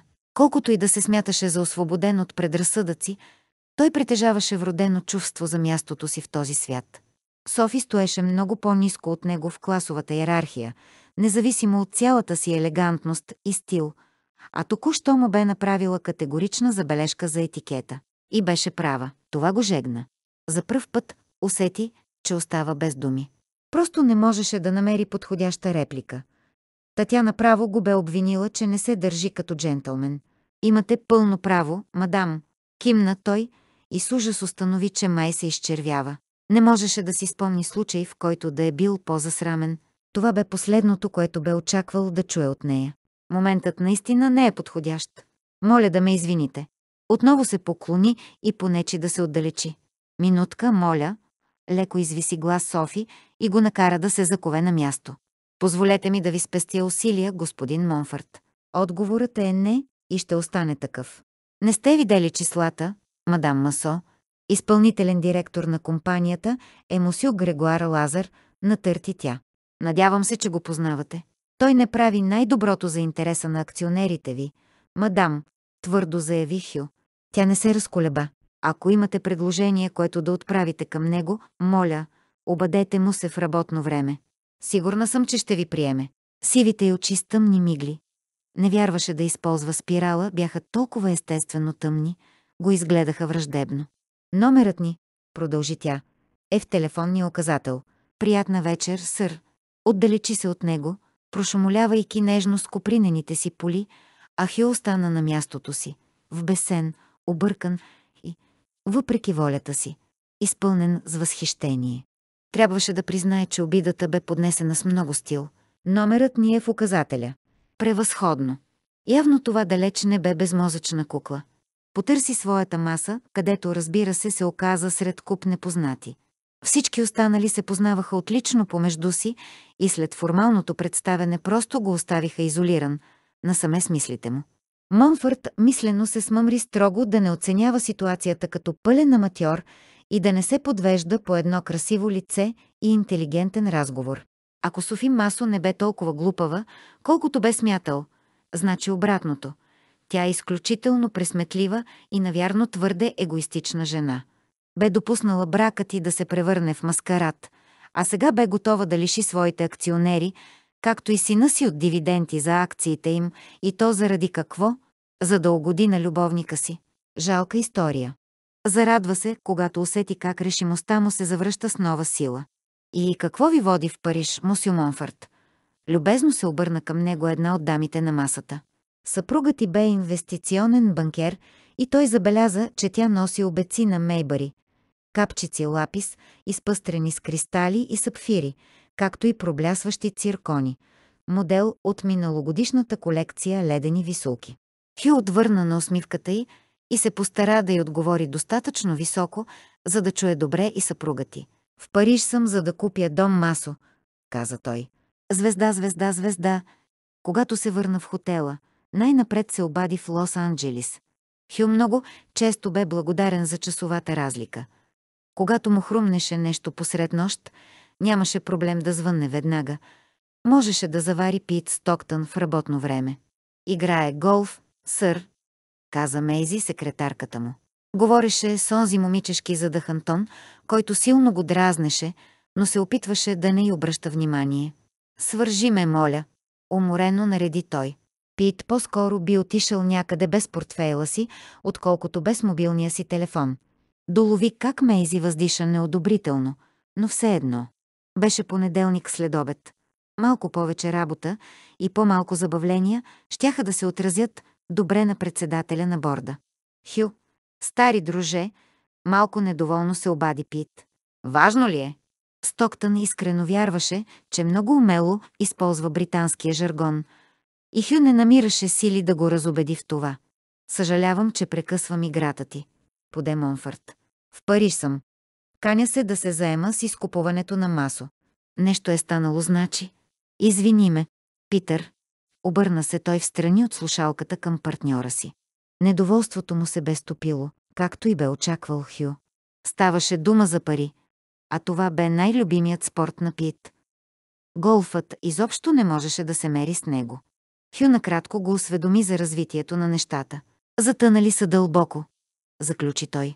Акционерите никак няма да харесат идеята за връзката на вдовицата и главния изпълнителен директор. А дори и без акциите на семейството има достатъчно свободни дялове на пазара, нали? Ще бъде сложно, призна Хю. Знаеше, че майката също има собствени акции. Но нямат 51%, дори да гласуват като един. Трябва да стигнем до акционерите. Обеден си. Беше по-скоро констатация, отколкото въпрос. Те няма да проявят сантименталност по отношение на името. Интересуват ги дивидендите. Да, напълно съм убеден. Искам пълномощия, за да подготвя офертата. Да намеря финансиране, да потърся правна форма, всичко. Преносимият ми компютър е с мен. Монфърт изобщо не се изненада. Ще ти изпратя всичко необходимо до 15 минути. Хю си помисли, че единственото хубаво, което можеше да се каже за Пит, бе, че когато става въпрос за собствените му пари, действа наистина светкавично. Монфърт бе убедил борда на директорите, че изкупуването на Дом Масо ще ги издигне до нивото на Тифани. Сега Пит Стоктън неистово желаеше тази сделка почти колкото самия Хю. Благодаря, рече кратко. Задължен съм ти. Хю затвори и с уморено удоволствие хлътна в мраморния лукс на разкошно обзаведената баня, за да се измие преди лягане. Когато привърши, видя, че под вратата му дискретно е пъхнат плик. В него имаше подписано пълномощно от Пит Стоктън. Монфърт се усмихна и го остави на шкафчето до леглото. Спа спокойно, както винаги преди битка. 15 глава. Софи не можеше да се съсредоточи. За пръв път бе благодарна на Катрин. Суровата школа на свекърва и по отношение на светските обноски сега и беше от полза, тъй като се налагаше да танцува и да се усмихва, да се старае да не засегне никого с недостатъчно внимание, макар мислите й да бяха на съвсем друго място. Как смееше този човек? Направо не можеше да повярва. Как смее? От колешният враг на съпруга и да се появи на благотворителен бал и да се опита да се възползва от нея. Само защото на Грегуар му се налагаше да работи тази вечер. Хю Монфърт сигурно го бе планирал предварително. Знаел е, че ще бъде сама. Без съмнение той я мисли за невероятно глупава. Да не би да си въобразява, че не е чувала името му. Че просто ей така ще прехвърли 30% акции на том на някакъв амбициозен бизнесмен с отколешни апетити да изкупи компанията. Хрумна й, че изобщо нямаше да знае кой е Хю Монфърт, ако за него не бе и казала Джуди Дин и изпита силна благодарност към нея. Грегуар дори не й бе споменал за този случай. Вероятно не бе искал да я тревожи. Постара се да се овладее. Софи, защо изобщо не хапваш? Ришар Дюбелфон, барон Дюфосен, съседът и на масата се наведе загрижено към нея. Тя погледна чинията си. Патица с горчив ябълков сос. Да, много е вкусно. Съгласи се тихо и насила преглътна една хапка. Софи никога не хапва Ришар. С престорена усмивка се обади Марго, съпругата му. Как иначе ще има такава перфектна фигура? Много си мила, Марго. Механично отвърна Софи. Обходи масата с поглед. Шестима от любимите гости на Пиер. Всички или с стари благороднически титли, или много богати. От дясната й страна седеше един политик, заместник министър на културата, резервният гост на масата. Той цяла вечер я обсипваше с внимание – но тя едва отвръщаше на настойчивите му комплименти и любезни забележки за обстановката наоколо. С досада си помисли, че би било добре Грегуар да е тук. Разбира се, не можеше да е до нея денонощно. Идваше в дома и в замъка или я канеше на обяд. Виждаха се всеки ден, откакто бе напуснала компанията. От онзи момент, когато бе решила повече да не ходи в офиса, а той бе дошъл при нея, бе целунал ръката й и бе заявил любовта си. Софи побутна храната с вилицата си и повъртя в ръка чашата с шампанско. Да, по-добре да си мисли за Грегуар. Той я бе взел в прегръдките си и я бе целунал много умело. И макар тя да бе доста скована и неотзивчива, той нямаше нищо против. Каза и, че знае, че е католичка и ще изчака. Тя самата бе очаквала да се разтопи в ръцете му. Е, какво пък, вероятно, просто и липсваше практика. В крайна сметка бяха минали няколко години. Тази насока на мислите не я удовлетворяваше особено, но тя се постара да се фокусира върху спомена за любезността на Грегуар, загрижеността му за чувството и на неудобство, склонността му да приеме нейното темпо. Обаждаше и се всеки ден, изпращаше и цветя и идваше да я види възможно най-често. Естествено, имаше и вечери, когато се налагаше да работи. Всъщност, допреди тази вечер, гузно си призна тя, бе очаквала всички тези общи моменти с нетърпение. Преди да й разкрие чувствата си, тя бе копняла той да заяви нещо гласно. А сега, когато направо я обсипваше с внимание, сякаш и се искаше да я остави на мира за малко. Не можеше да проумее подобно малко противоречие в себе си. Но това чувство се бе променило тази вечер, когато се появи Хю Монфърт. Сега определено искаше Грегоар да е до нея. Той щеше да го сложи на мястото му. Когато прецени, че е безопасно, тя погледна дискретно към масата на Монфърт. Можеше да зърне само гърба му, появно не бе особено притеснен от упрека й. Беше ангажиран в задълбочен разговор с другите гости на масата. Да не би да е очаквала, че ще хукне през глава навън от срам. Веднага, щом прецени за разумно, Софи се извини на сътрапезниците си и се запъти към гардеробната. Асистентът там ми подаде пълтото с възхитена усмивка. Беше стар модел от прекрасен копринен брокат от Китай, предимно в сребристо-сиво, украсен с перли. Но Софи дори не забеляза ласкателството. Махна на шофьора си и нетърпеливо го зачака да се приближи. От време на време хвърляше притеснен поглед към залата. Дали Монфърт бе забелязал тръгването й? Сигурно. Но не я бе последвал. Мислено си приготви няколко хъпливи забележки за всеки случай. Този мъж изобщо не бе такъв, какъвто си го бе представила. Без да се взима под внимание класата, от която произхождаше, дори само името му говореше много неща. Но тя бе очаквала да срещне един разглезен, безволев възпитаник на частно училище, който само търси да заграби успеха на Пиер и Грегуар и се сърди, когато му откажат нещо. Монфърт съвсем не бе такъв. Беше на нейната възраст, може би с година-две по-голям. Добре облечен, без видим белег да полага специални грижи за себе си, който тя по принцип никак не харесваше у мъжете. Висок, колкото Грегуар, но очевидно фигурата му излъчваше по-голяма сила. Дори мисълта за това я накара да потръпне, макар че вечерта бе топла. Беше подчертано мускулест, а движенията му издаваха пълен контрол над тялото. У него имаше нещо хищническо, и то не само в смисъл на бизнес апетитите му. Софи закопня за отехата на Грегуар. Веднага, щом се настани удобно на задната седалка в лимузината си, тя посегна към телефона и набра прекия номер в кабинета му. Никой не отговори. Даде на шофьора домашния му адрес. Колата прекоси плавно чакалестата алея и след миг се включи в неоновия поток на уличното движение в нощния Париж.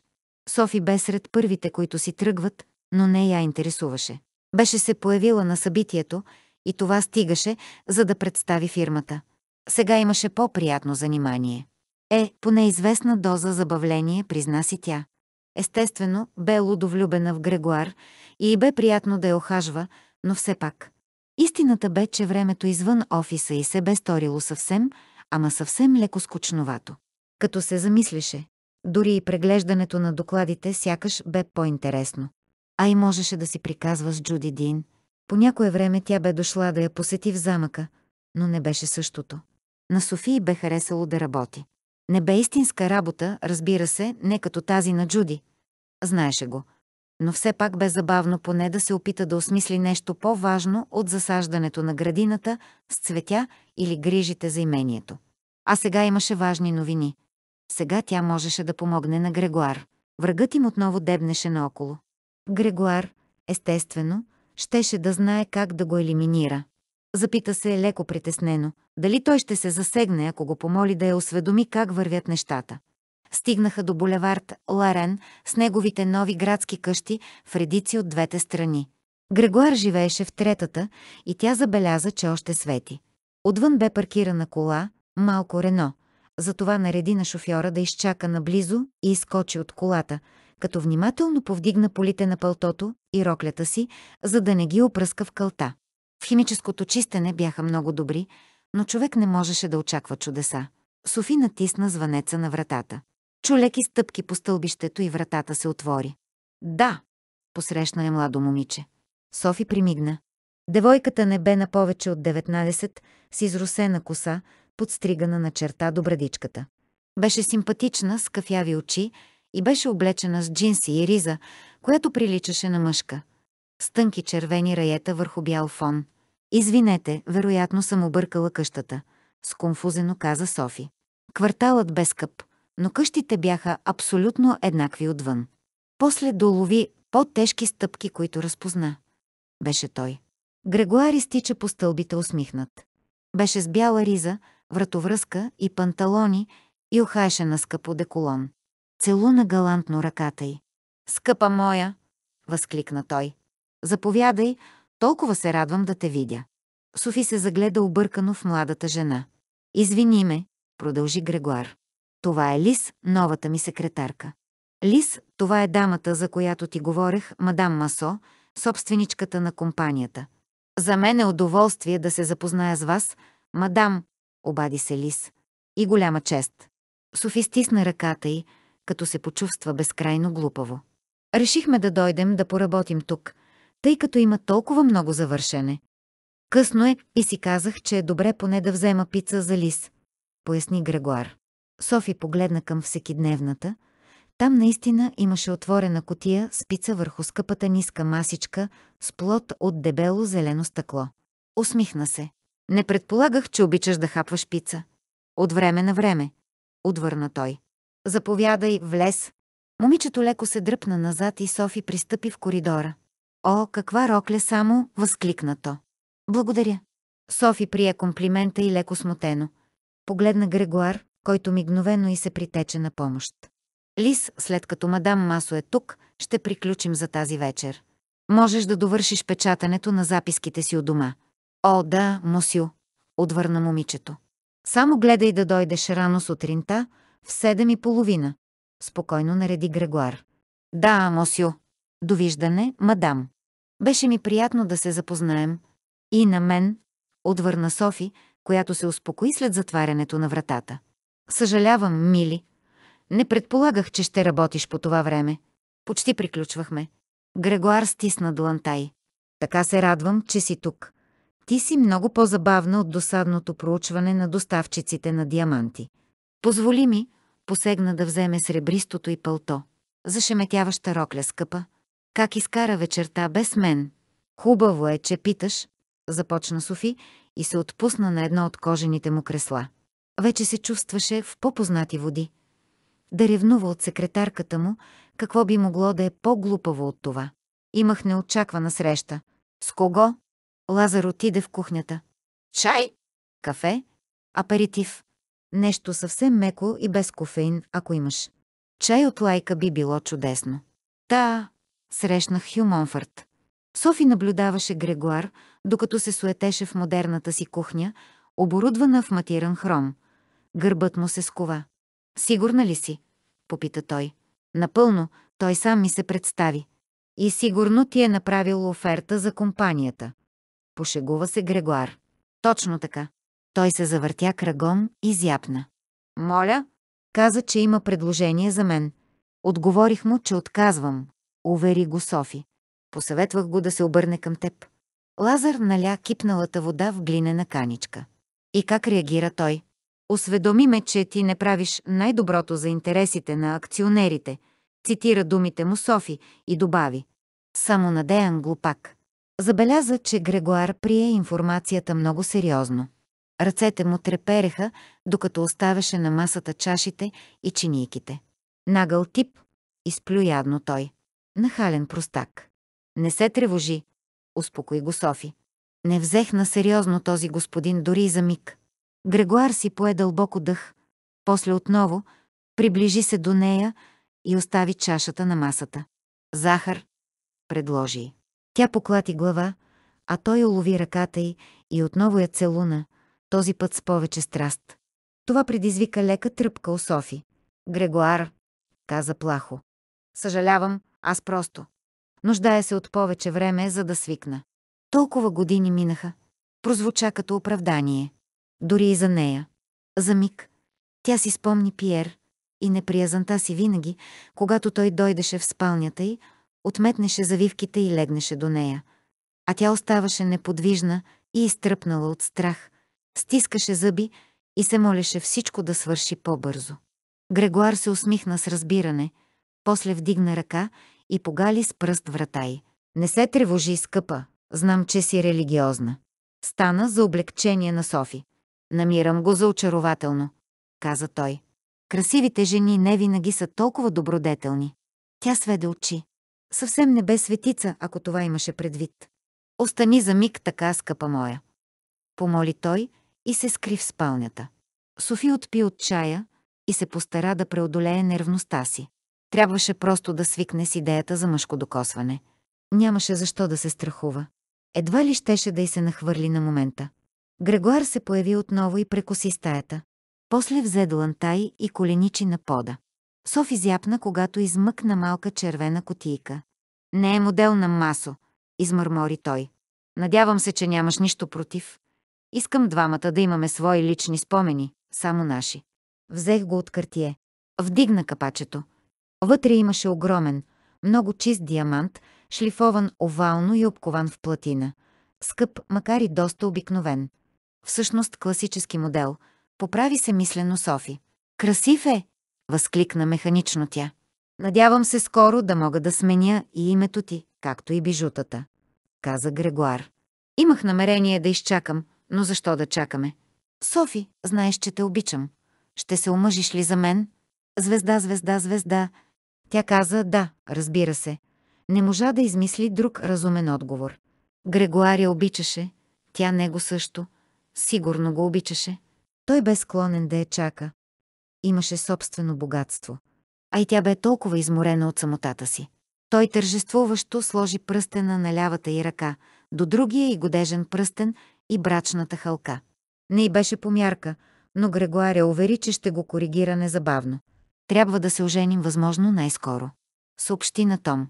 Вероятно можем да организираме сватбеното тържество в замъка още следващата седмица. Софи се засмя. Следващата седмица. Не се шегувай. Забравяш, че трябва да чакам да се любя с теб след сватбата ни. Не бива да ме кориш, че съм нетърпелив. Грегуар се приближи и седна до нея на дивана. Наистина, скъпа моя. Обичаме се, глупаво е да отлагаме. Сватбата е щастливо събитие. Няма нужда да прибързваме. Щеше да й бъде приятно възможно по-дълго и обстойно да се занимава с планирането на тържеството. Освен това, трябва да съобщя много внимателно новината на Том. Напоследък му се насъбра много. Ще се оправи. Нетърпеливо продължи Лазар. Трябва да приеме, че имаш право да продължиш живота си. Софи го зяпна. Не можем да се оженим другата седмица, Грегуар. Бъди разумен. Не съм прекарала в траур и 6 месеца. А и църквата ще те накара да изчакаш поне 6 месеца да посещаваш пред сватбени курсове. Макар, че отец Сабен би направил изключение за мен, за нас. Шест месеца, избухна той. Но той е мъртъв от седем години. Не мога да чакам шест месеца. После се сепна и се овладя. Виж ме само, държа се глупаво. Истината е, че отдавна го планирам, а и времето без теб ми се струва безкрайно. Думите му бяха меки, но Софи вътрешно някак се отдръпна. Блясъкът в очите му е безтреснал. Никога не го бе виждала толкова разгневен. Той забеляза реакцията й. О, скъпа моя! Стреснах те и то в такъв специален миг. Няма нищо. Просто си много развълнуван. Точно така, каза той. Нали знаеш, когато много очакваш нещо да стане и когато най-сетне се решиш да действаш, тогава ти се ще да се случи на момента. Разбирам, каза Софи. Тя се изправи.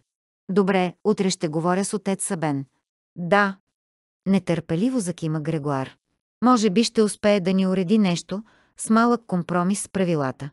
Да ускори нещата. В замяна на дарение, може би. Забеляза изражението й и вдигна примирително ръце. Добре, добре, ще чакам колкото се налага. Само се надявам да не е прекалено дълго. Софи му подаде пръстена, който й бе прекалено малък, и изчака, докато той донесе пълтото и помогне да го облече. Мислено си повтаряше, че всичко е наред и дори трябва да е поласкана от факта, че Грегуар толкова бърза да се ожени за нея. Обходи с поглед дома му. Определено бе обзаведен скъпо, макар да не бе по вкуса й. Грегуар бе горд мъж извинително си каза тя. Загледа се в снимките, на които той бе на откриване на нов магазин на Масо, сред група бизнесмени, а на един кадър се здрависваше с бивш премиер на Франция. Неясен хлад обви сърцето й и погледна снимката по-отблизо. Грегуар стискаше ръката на Мусю Жуспен и се усмихваше. Беше облечен в сиво-черен костюм, тъмно-синя вратовръзка и бяла риза с тънки червени раета. Беше я виждала. Къде, кога? Съвсем пресен спомен. Същата риза, с която бе облечена Лис. Добре ли си, любов моя? Нежно попита Грегуар, докато загръщаше пълтото около раменете й. Софи откъсна поглед от стената и за втори път тази вечер използва техниката, на която я бе научила Катрин Масо за запазване на самообладание. Специалния светски тон, равния учтив глас. Добре съм. Цялото това вълнение, нали разбираш, скъпи? Отвърна тя. До утре. Целуна го по бузата. Той отвори вратата и Софи, с разтоптяно сърце, се зарадва, като видя шофьора да я чака търпеливо със светнати фарове. Излезе да й помогне да се настани, тя бързо се качи и нервно облегчено потъна в лукса на тапицерията. У дома нареди припряно. Разбира се, мадам. Надявам се, че вечерта е била приятна. Софи не отговори.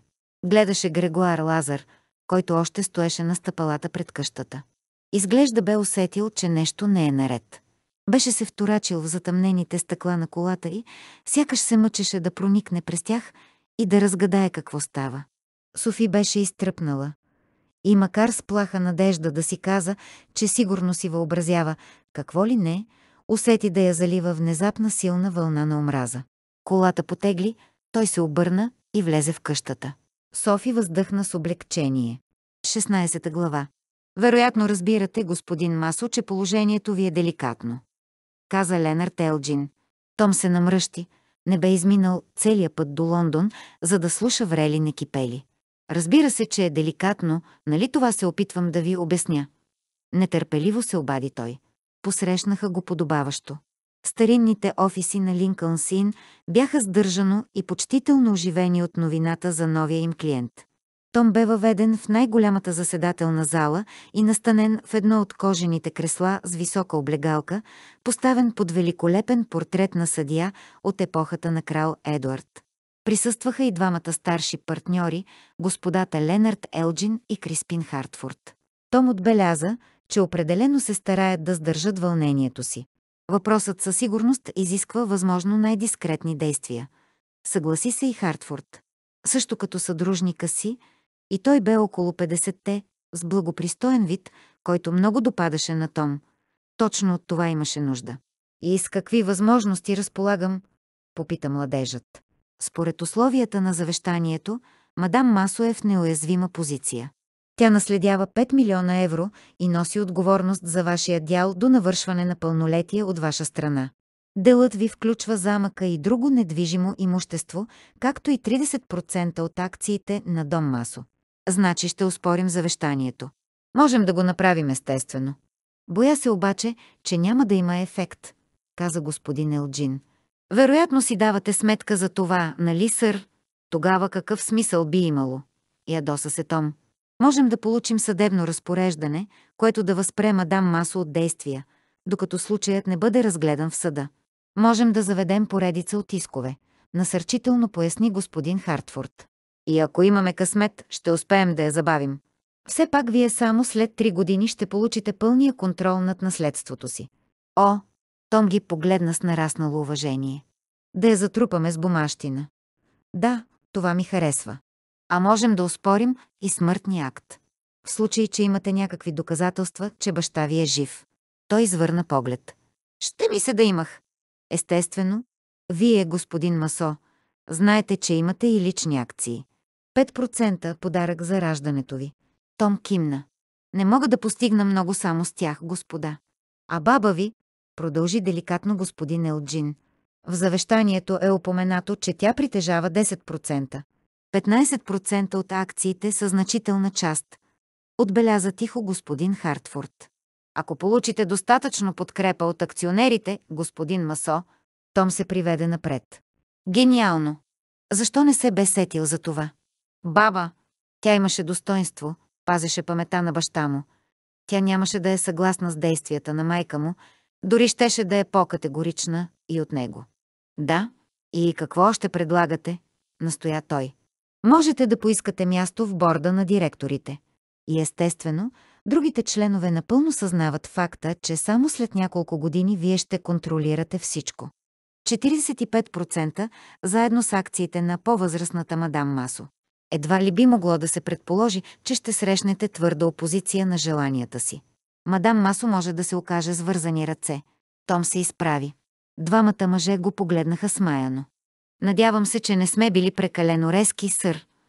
Деликатно вметна Ленард Елджин. Има и други начини, някои по-дискретни методи. Къде е споразумението за хонорара ви? Попита Том. Подадоха му го. Той извади от джоба на сакото си платинената писалка Монблан, направена по специална поръчка за него, подарък от майка му за миналата коледа, и подписа с замах. Адвокатите се спогледаха, по лицата им бе изписано почтително тържество. От банката ще ви преведат 200 000 лири в корпоративната ви сметка още тази сутрин, заяви Том. Бе взел решение. Това бе подходящата кантора, сега просто искаше да се махне от тук. Аз съм човек на действието, каза си той. Майка му трябваше да помисли добре, преди да влиза в спор с него. Благодарим ви, господин Масо. Господин Елджин стисна здраво ръката му. За нас беше удоволствие. Голяма чест е да работим с вас, сър, добави господин Хартфорд. Том сдържано се здрави са и с двамата. Подобно уважение му се полагаше по право. Естествено, каза той. Приятен ден, господа. Звезда, звезда, звезда. За Оксфорд взе влака, първа класа. Бе установил, че английските таксиметрови шофьори просто не млъкват през цялото време, особено когато човек има нужда да събере мисиите си. Явно трябваше да се откаже от тях. Това бе първата му постъпка през последните няколко седмици, която би зарадвала майка му. Край него се нижеше пейзажът на английската провинция. Трябваше да признае, че е красиво, ако човек харесва подобни неща. Хълмисти равнини, отделни туфи, малки горички, едри бели овце, унесени и доволни от топлото лято. Но всичко това съвсем не можеше да се мери с френската провинция. С гордост отбеляза той мислено. Нямаше я елегантността на сивите каменни стени, изисканата симетрия на сградите, педантично поддържаните мурави и подредени алеи в парка на баща му. Нямаше ги селата, където къщите са свободно и красиво разположени в градините си, а не скупчени една до друга. Лондон бе претъпкан, а Париж – изискан. Искаше му се да се върне от дома. Най-простият начин би бил просто да замине. Оксфорд не е някакъв затвор. Можеше да наеме носачи, да освободи квартирата си и да си намери жилище, имаше страхотни апартаменти под найем на левия бряг на Сена. Но макар да не му се искаше да постъпва според очакванията на Софи, някак не бе готов съвсем да захвърли следването. Оксфорд бе сред най-престижните университети в света и макар да не си го признаваше открито, то много се гордееше, че е прият в него. Опита се да измисли по-безопасен начин да напусне. Можеше, например, да се срещне с старшия надзорник и да помоли за прекъсване. За една година. Щеше да му е достатъчна, за да се възпротиви на майка си и да й попречи да пропилее наследството му. След това можеше да се върне при момичетата и безкрайните купони. Поли щеше да е тук и след година. При мисълта за нея Том потръпна. Вярно, че бе ангажиран с други проблеми. Беше направо съкрушен от тях. Но въпреки това все още мислеше за нея. Дали би могло всичко в отношенията им да се оправи? Ако се върнеше като победител, като пълноправен собственик на огромното богатство на баща си, като признат светски лъв, а не просто като пасивен наследник. Подозираше обаче, че за момиче като поли наследник не означава нищо. Как им казваха англичаните? Лентяй с попечителски фонд. За да се отърве от подобен етикет, човек трябваше да се докаже, да докаже качествата си в действие и Томас Масо бе готов да го стори. Никой не се оплакваше от момчетата на Ротшилд или Рокфелер. Пък и без това бе проява на остарели предразсъдъци едва 21-та годишнина да се смята за навършване на пълнолетие. От правна гледна точка, пълнолетието настъпва на 18. Влакът спря на гарата в Оксфорд. Том бе ентусиазиран. Планът му бе готов и нямаше търпение да го приведе в действие. В края на горчивите битки нещата щяха да се подредят според неговите намерения. Сега перспективите му изглеждаха по-светли.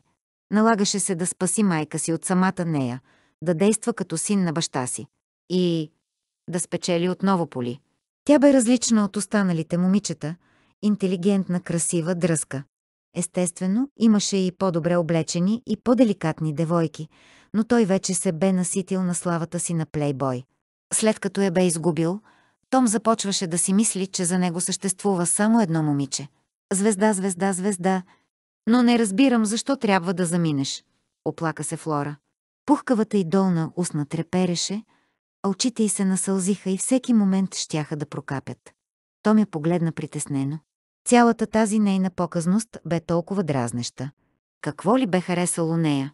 Красотата й. Казах ти, скъпа, семейни дела, неубедително отвърна той. Имаш ли нещо против да запаля цигара? Предпочитам да не пушиш. Гласът ти заглъхна. Том вече посягаше към котията. Разбира се, ако наистина искаш. На нейно място Поли направо щеше да го плесне през ръката и да му вземе цигарите, но Флора само хленчеше. Въздъхна, мисълта за Поли бе развалила удоволствието му. Остави котията. И без друго цигарата само щеше да забави тръгването му, а то бе по-належащият проблем. Всичко е наред, с досада каза той. Погледна момичето, леко закръглено, доста сексапилно, с набъбнали устни и също такива гърди, тъмна коса, куполонички по лицето и невероятен акцент. Той владееше отлично английски, но шотландският и уелският изговор направо го смайваха, както и акцентът от Йоркшир и Бирмингъм. Как бе възможно британците да имат толкова много различни диалекти на един малък остров? Ще ми липсваш ужасно. Плахо се обади тя. Том се запита дали е вярно. Макар да имаше страхотна и чувствена физика, Флора Макалистър бе доста скучновато момиче, с кротък нрав и изцяло отдадено на уроците си. Вълнуваше се истински само когато говореше за лекциите, а кой, по дяволите, се интересува от математика. Оставаме си приятели и съм сигурен, че пак ще се срещнем, предпазливо изрече Том. Опитваше се деликатно да сложи край на връзката с нея. След грандиозния скандал с Джема, която също се бе разплакала, нямаше никакво желание да повтаря сцената. Сексът с Флора бе по-скоро механичен, облегчаваше физическите му потребности и задоволяваше желанията му за минутки любов. Бе истинско наказание обаче да остава след това при нея, когато тялото й вече му изглеждаше незакръглено, а разплуто, и да я прегръща, докато тя спи с отворена уста и леко похърква. Да, хубаво щеше да е да приключи с всичко това. Мислиш ли, че можем да продължим да се срещаме? Бих могла да идвам до Франция веднъж месечно с ферибота. Ще ме вземаш от кале? С надежда предложи Флора. Скъпа, Том галантно притисна устни до пухкавата й ръка. Ако бъдем реалисти, би било невъзможно, ти си ангажирана с уроците си и не бива да ги прекъсваш. Флора се замисли. Той знаеше, че тя се стреми към отличие, а защо не и към нещо повече. Безпоменавала за пълна стипендия. А, и аз ще съм много зает. Само изключителната загриженост за делата на семейството ми може да ме откъсне от теб. Внимаваше фалшивата нотка да не проличи в гласа му. Може би, когато и двамата постигнем целите си, ще се срещнем отново, и ако сърцата и на двама ни са свободни. Остави фразата недовършена и за негово облегчение Флора кимна. Е, предполагам, че така е най-добре. С натежал глас отвърна тя. Акцентът ти винаги се изостряше, когато бе силно развълнувана, което за щастие се случваше рядко. Но ще ми липсваш, Том. Ти си по-различен, каза тя. Той я погледна изненадано и с искрена топлота, докато посягаше за ризата си. По-различен? Естествено, че беше различен. След тези думи, сякаш скучноватата Флора взе да му става по-интересна. Ще се видим на вечеря, скъпа, каза той и я целуна по бузата, като побърза да излезе. Докато крачеше към стаята си, с небрежно разкопчано горно копче на ризата, за да стане ясно на всички с какво се е занимавал току-що, Том мислено се поздрави. Флора бе добро момиче, каза си самодоволно. Щеше да се обади в представителния магазин на Масо на улица Бонд, за да заръча подарък за нея. Нещо семпло, но скъпо, може би брошка. Сети се как миналата година майка му му бе обърнала внимание на един елегантен златен накид с старинни седефени акценти и розови сапфири. Щеше да изпрати тази брошка заедно с елегантна малка бележка. Знак за уважението ми. До нови срещи, Томас. Да, щеше да се получи добре. Усмихна се доволно. Беше стилно, а за него бе абсолютно наложително да култивира стила си до нивото, подхождащо на човек с завидно богатство и собствен бизнес. Разделата с Флора се бе оказала лесна. Надяваше се и управата на колежа да прояви същото разбиране. Звезда, звезда, звезда. При мен са писмата от вашите преподаватели. Господин Батърс бе старши наставник в колежа Крайстчърч. Том се съмняваше дали някога е мразел друг човек по-силно от него. Ученият крачеше напред-назад като същински генерал пред непокорен подчинен. Какви ли за Бога бяха заплатите на преподавателите в Англия? Този човек една ли изкарваше и 80 000 евро годишно? И се опитваше да му нарежда какво да прави. На него, на Томас Масо, наследник на милиони и бъдещ пълновластен собственик на едно от най-големите богатства в Европа, мълчеше. В тях се твърди, че работата ви е незадоволителна. Последното ми е се получи добра оценка. Отвърна Том с нотка на леко предизвикателство, която не успя да прикрие въпреки цялото си старание. Наистина, но господин Хилърд сподели с мен, че остър ум като вашия не бива да се задоволява само с оценка добър. Том се слиса. Така ли е казал Хилърд? Много мило от негова страна. Напротив, млади момко. Господин Бътърс го прониза с острите си лешникови очи. Той е направо възмутен от вас. Невежеството е простимо. Мързелът – не. Нямате никакъв шанс, абсолютно никакъв шанс да завършите магистърска степен, ако продължавате по този начин. Осъзнавате ли го? Том се загледа в протърканата жилетка и старите панталони на Бътърс, в червената следа, която очилата бяха оставили на носа му. Този разпит съвсем не му допадаше и си каза, че е както неприятен, така и излишен. Преподавателите тук явно забравяха, че не са учители в гимназия. Нима в този разговор не участваха двама възрастни. Не бе дошъл да му четат конско. Бътърс очевидно чакаше отговора му. Напоследък бях под голямо напрежение, мусю. Аз не съм французин, сухо подчерта Бътърс. И тъй като учите в английски университет, смятам, че е редно да се придържаме към този език. Мразя го, помисли си Том, но наглас каза. Разбира се, сър, под какво напрежение по-точно сте били? Попита Бътърс и скръсти ръце. Моят баща. Баща ми наскоро бе обявен за мъртъв, обясни Том с наведена глава, надявайки се на съчувствие. Да, чух, но това е станало само преди няколко седмици, а вашите отсъствия от лекции, както и немърливото изпълнение на задачите, е започнало още в средата на първия семестър. Том се скова. Смяташе, че споменаването на смъртта на баща му ще сложи край на разпита. Преподавателите от факултета в Крайст Чърч бяха истински тирани, но все пак се славеха с готовността си да проявят разбиране и съчувствие винаги, когато някой студент има истински проблеми, независимо дали семейни или от друго естество. Напъна ума си. Мусю, господин Бътърс, знам, че не се представях толкова добре, колкото би трябвало. Удоволствията на самостоятелния живот доста ме разсеиваха. Отбеляза, че тази малка доза откровеност бе добре приета. Затова реших, както казвате тук, да се взема в ръце. За свой ужас Том забеляза как старшият наставник прикри усмивката си, когато чу разговорния израз, изречен с онзи постоянен френски акцент, който той нито можеше, нито желаеше да заличи в говора си. Но новината за смъртта на баща ми, издаването на смъртния му акт, ме разтърси. Разбрах, че не мога да се съсредоточа, не мога да мисля за нищо друго. Том се ужаси, когато усети как емоциите му в тази ситуация се отключват и наистина вземат връх. Гласът му потрепери. Той положи искрено усилие да се овладее.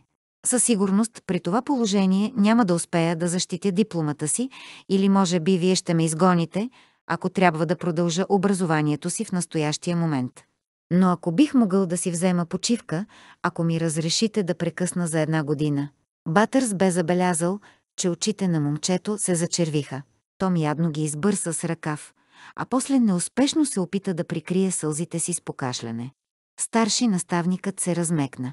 Ако ви пуснем в почивка за една година, господин Масо, мога ли да разчитам на думата ви, че когато се върнете, ще положите максимални усилия да оправдаете доверието, възложено ви от комисията по приемането на нови студенти? Въпросът бе неочакван. Том не искаше да дава дума. Дадената дума бе сериозно нещо, но нямаше как да не се съгласи. Добре, продължи старшият наставник. Всяка година в колежа ни кандидатстват много повече младежи, отколкото можем да приемем. Избираме най-добрите и попарваме надеждите на останалите, понякога завинаги. За вашето място, господин Масо, имаше поне 15 отлични кандидати. Том се намуси. Какво бе виновен той, ако останалите са били прекалено глупави, за да влязат? Ще се видим с вас отново в началото на семестъра след една учебна година. Заключи делово господин Бътърс. Стисна здраво ръката на Том. Всичко добро. Звезда, звезда, звезда. След това му бяха нужни само няколко часа. Обади се на една компания в Лондон и в склад на Бенбари Роуд и се погрижи да пренесат вещите му. Нямаше нищо, което да не може да остави тук. Нямаше кой знае колко лични вещи. Позвани в магазина на Масо, на улица Бонд, и се поинтересува за брошката. Била продадена, но служителят, приятен и почтителен господин, препоръча друга, цвете с листа от злато, венчелищата от седев и красив гранат в центъра. Том се съгласи и направи поръчката. Щяха да я изпратят веднага на Флора Макалистър. Почувства се добре. Това бе любезен начин да се раздели с нея. Флора не бе коварна като Джема, нито взискателна като Поли. Заслужаваше го. И все пак Том не съжаляваше, че ще се отърве от всички тях. Остави кратки бележки за няколко от момчетата, с които излизаше да пие не побира. Никой не можеше да се нарече негов приятел. Освен, може би, Саймън Ланкастър, гениален, но много сдържан студент по история и, също като него, наследник на голямо богатство. Двамата бяха доста близки, след като бяха открили общия си происход. Макар, че Саймън явно смяташе наследството си за непоносим товар. Беше коренно различен по характер от Том, но въпреки това бяха близки другари. Саймън се възхищаваше на безгрижния ергенски живот на Том и успеха му сред момичетата, както и на пълното му пренебрежение към следването. Том говореше и вършеше неща, каквито Саймън не би и помислил да направи. А Том на свой ред, макар да не го признаваше гласно, харесваше целеустремеността на Саймън и методичните му усилия да завърши успешно образованието си. Запъти се към бара, за да го потърси. Беше 6 часа, а Саймън неизменно посещаваше бара по това време, изпиваше две чаши джин с тоник, сетне се връщаше в стаята си да учи. Том щеше да се сбогува временно с него. Беше решил да го покани на гости в Париж – да му покаже как е в истинския живот. Би било забавно да поразтърси малко този сдържан млад англичанин. Прекоси забързано площада, после тръгна напряко към бара. Беше пълен както винаги. Ефтиният алкохол, едно от големите предимства на Оксфорд, бе много популярен сред студентите. Том огледа помещението. Неколци на познати му махнаха да се присъедини към тях, като се провикнаха силно, но той само се ухили и поклати глава. Допреди няколко седмици щеше да е сред първите в бара и вече щеше да е подпинал, както всички. Днес това му се струваше неуместно. Явно пораствам. С приятно чувство си помисли той. Саймън го нямаше, щеше да се наложи да го потърси в стаята му. Иначе трябваше да му звъни по телефона. Нямаше намерение да се бави. Искаше да се махне от английската провинция, възможно най-скоро, и да се качи на влака през Ламанша още преди полунощ. Тогава я видя. Поли. Стоеше там, отметнала червената си коса и се смееше, разкрила прекрасните си бели зъби. Беше с обичайната си размъкната тениска на металика и джинси с много ниска талия, боти Док Мартен, а на китките й подрънкваха ефтини индийски гривни в пъстри цветове. В този миг осъзна, че е истински красива и изглеждаше толкова щастлива. Том се загледа в нея запленен, а тя извърна глава. Забеляза, че до нея стои Марк Олстън. Тя се протегна към него и го целуна по бузата. Обзе го гняв. Толкова силна ярост, че направо усети как го стиска за гърлото. Не можеше да проговори. Охо, възкликна един от другарчетата му по чашка, като смушка в ребрата съседа си по стол. Забавно им е. Помисли си Том. Всички смятат, че това е смешно, в главата му нахлуха най-гадни сцени и му се зави свят. Сега мускулестите ръце на Олстън прегръщаха поли през. Представи си как я притиска в леглото, както бе правил самият той. Видя мислено пръстите му върху меката и топла кожа. Представи си как я целува. Целува я Марк. Том си проби път през тълпата. Разсипа нечие питие. Подмина протестиращите подвиквания. Крачеше право към Марк Олстън. Махни си ръцете от нея. Викна му гневно. Това е моето момиче. Олстън го погледна от високо и се засмя. Вижте го, принца Жабок, каза той и всички наоколо избухнаха в смях. На Том не му пукаше. Нито за тях, нито за мнението им. Презираше ги до един. Селяци. Поли изглеждаше ядосана. Марк? Марк Олстън сведе поглед надолу към Том. Беше висок над метър и 80 и доста едър, с рамене на колос. Или какво? Нещо ме заплашваш ли? Точно така. Том се вторачи в ръката му, която собственически държеше поли за кръста. Сам ли? Или с още някое приятелче? Пренебрежително подметна Олстън. Обърна се към бара. Том се пресегна и силно го дръпна за рамото, за да го обърне към себе си. Англичанинът го изгледа за момент, после просто поклати глава. Я се разкарай, приятел, каза той. Бия се само с мъже от моята категория. Масо почервеня от гняв. Беше висок метър и 75, но Олстън бе поне с 20 кг по-масивен от него.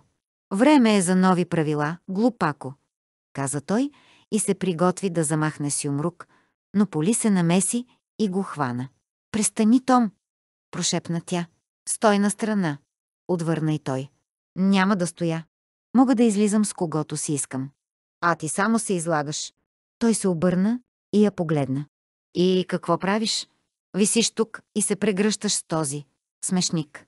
Олстън се обади. Това беше прекалено. Започна да навива ръкавите си.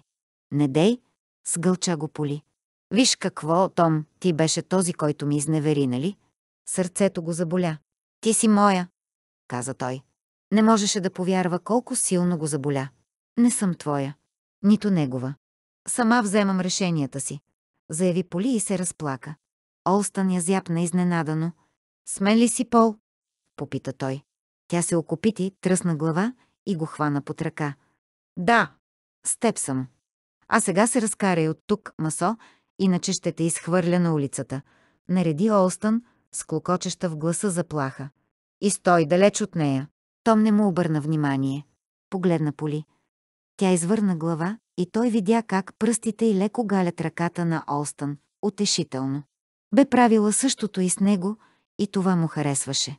Поли, просто си върви, Том, каза тя. Така и направи. Излезе от бара през тълпата подхилкващи се студенти, някои от тях другари, по чашка, всички му се присмиваха. Сълзите го заслепяваха.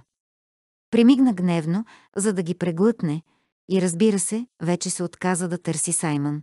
Събра набързо нещата си, после изхвърча през портала под старинната часовникова кула, без да обърне внимание на непочтителния портиер, който никога не го поздравяваше с докосване на фуражката и тръгна с решителни крачки по Корн Маркет към стоянката на такситата. Към гарата, нареди той. Не спираше да си повтаря на ум, че трябва да се успокои. Подобна слабост бе неуместна. Бе сбъркал в преценката си за Поли. Явно не бе неговата единствена жена. Не беше нищо повече от момиче за една нощ. Щеше да я забрави. С усилие на волята насочи мислите си в друга посока. Имаше влак в 7 без четвърт. Ако нямаше закъснения по овехтелите железопътни линии на Англия, вероятно най-ужасните в цяла Европа, можеше да стигне до Лондон и оттам да хване последния влак и да замине за дома си през тунела под Ламанша още тази вечер. Оставаше само един въпрос. Прецени Том, когато се успокои малко. Дали да се настани в хотел или да отиде направо при баба си. Не, хотелът бе по-разумният избор. Щеше да е доста трудно да скрие присъствието си през деня, а нощем шумът от кола, която минава по чекалистата алея пред замъка, не би могъл да остане незабелязан. Нямаше намерение да се разкрива пред майка си. Още не. Когато настъпеше моментът на конфронтация, трябваше той да диктува условията. 17 глава. Софи се събуди от слънцето, обилно строящо през прозорците на спалнята й. На семейната спалня. Двамата с Пиер я деляха години наред и той я бе смятал за най-хубавата стая в целия замък. Отначало и се бе сторила прекалено пишна заради зелените, копринени тапети, безценните старинни мебели от времето на Луи XIV и дори от преди това. В тази стая имаше мебели от началото на 16 век, а великолепното легло с балдахин от плътна златиста коприна и гравирано с дъбови листа и лозови вейки бе, както я бе уверил Пиер, от епохата на Франсуа I. Постепенно се бе привързала към тази стая. Бе невероятно разкошна, но освен това и красива. Обикновенно, когато се събудеше в леглото, цялото само за нея, се чувстваше прекрасно. Софи обичаше да лежи неподвижна няколко минути, окъпана от светлината, която проникваше от източните прозорци, и да планира деня, грижи за бебето Том, а по-късно и за градината. Днес обаче се събуди с неясна тревога. Замисли се за причината и когато се пробуди напълно, всичко изплува в съзнанието й. Грегуар. Миналата вечер. Момичето. Ризата. Нездържания му гняв. От лявата й страна имаше старинен звънец, който още работеше. Дръпна износения червен шнур и само след минутка Бернард се появи. Добро утро, мадам. Обичайната ви закуска ли, мадам? Доста очудващо предвид тревогата й, но Софи усети глад. Поръча си хрупкав бекон, бъркани яйца, ароматен китайски чай и купичка ягоди. С изключение на ягодите, това си беше типична английска закуска, каквато не бе хапвала от години. Чудесно, мадам. Бернард се усмихна одобрително. Хората от персонала все се опитваха да се грижат за нея. Мосю Лазар звъня четири пъти от сутринта. Мадам, но му казах, че още не сте се събудили. Да, благодаря, Бернард. Ако се обади пак, приеми съобщението му. Софи кимна замислено. И помоли Ричард да приготви колата за след час. Ще ми трябва почти през целия ден. Да, мадам, отвърна Бернард. В очите й се четеше загриженост, но Софи не бе в настроение да споделя тревогите си и той се оттегли. Звезда, звезда, звезда. Хапна с апетит, тъй като вече знаеше защо е гладна. Имаше да върши сериозна работа и я очакваха толкова много задачи. Вероятно не можеше да ползва ризата като неопровержимо доказателство. Винаги биха могли да се намерят оправдания, най-различни оправдания. Например, че ли си има подобна риза или че е разляла нещо върху дрехата, с която е дошла и се е наложило да облече нещо друго. Но Софи не бе наивница. Бе видяла всичко със собствените си очи. Бе преценила ситуацията. Да си наеме нова секретарка бе много удобно извинение. Не, двамата бяха любовници и тя се почувства омърсена, макар че никога не бе спала с Грегуар. В добавка към това се сети и за припреността му. Безумното му бързане да й предложи брак. Никак не й бе харесало. Бе се почувствала неловко дори и преди да го заподозре.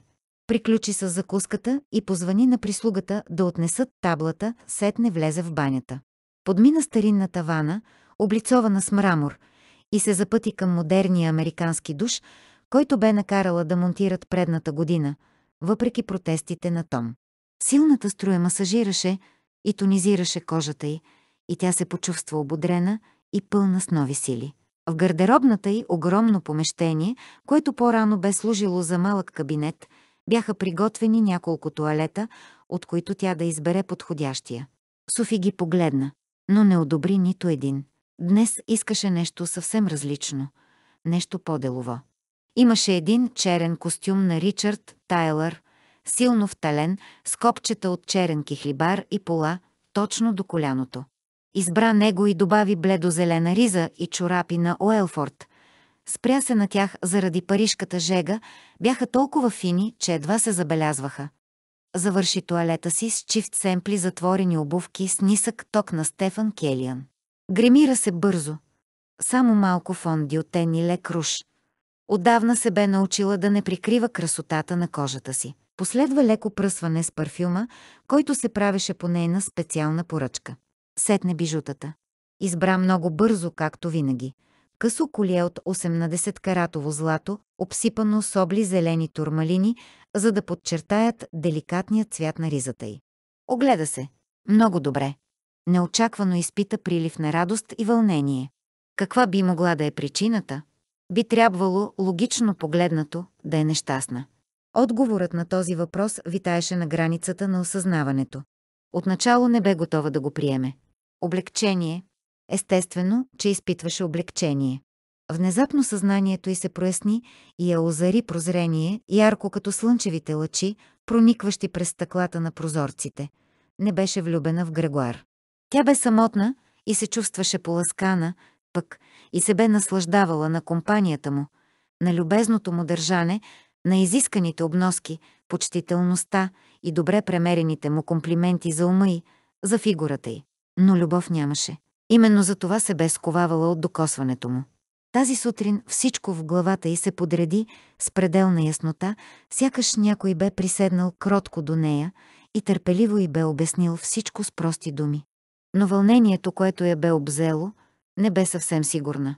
Отърси се от тези мисли, като си каза, че по-късно ще разбере.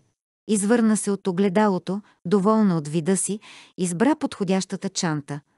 Модел на Кейт Спейт от крокодилска кожа с бамбукова дръжка, пъхна вътре портмонето си, пудра и блясък за устни и слезе по величествените мраморни стъпала, по които токчетата й потракваха отчетливо, докато бързаше към колата си. Към офиса ли отиваме, мадам? попита шофьорът. Софи поклати глава. Улица в обор, Ричард. Закарай ме до представителния магазин на Масо. Звезда, звезда, звезда. Вероятно, каза си тя по-късно, нямаше нищо нередно в него.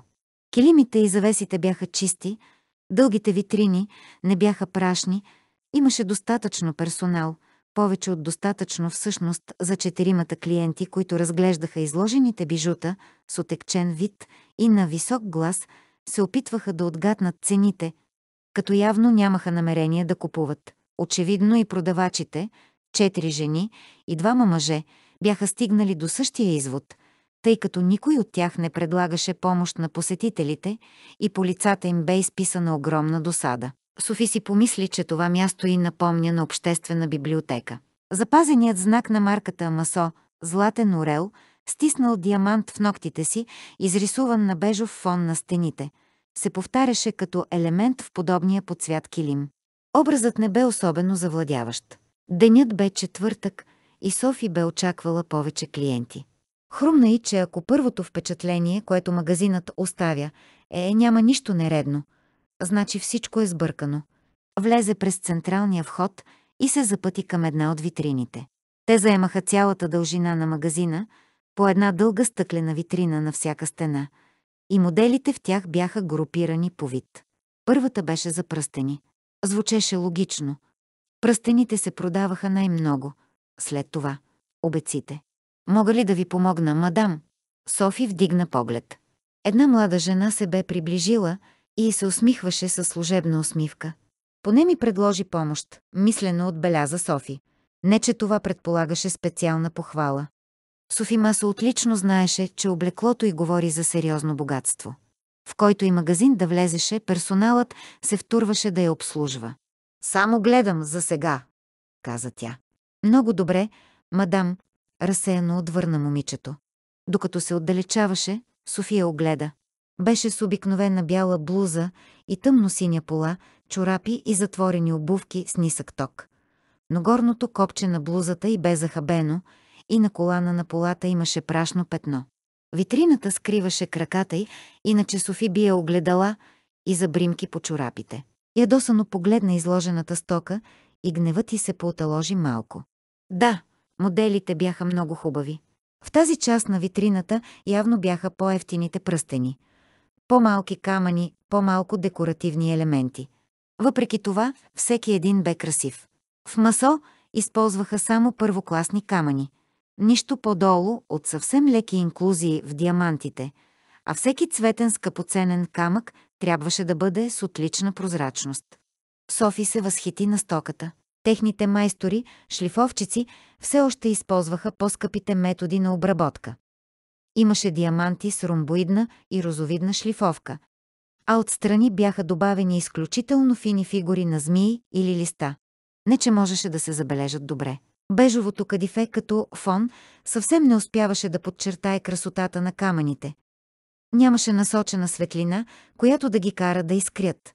Освен това, прекалено много модели бяха наблъскани един до друг.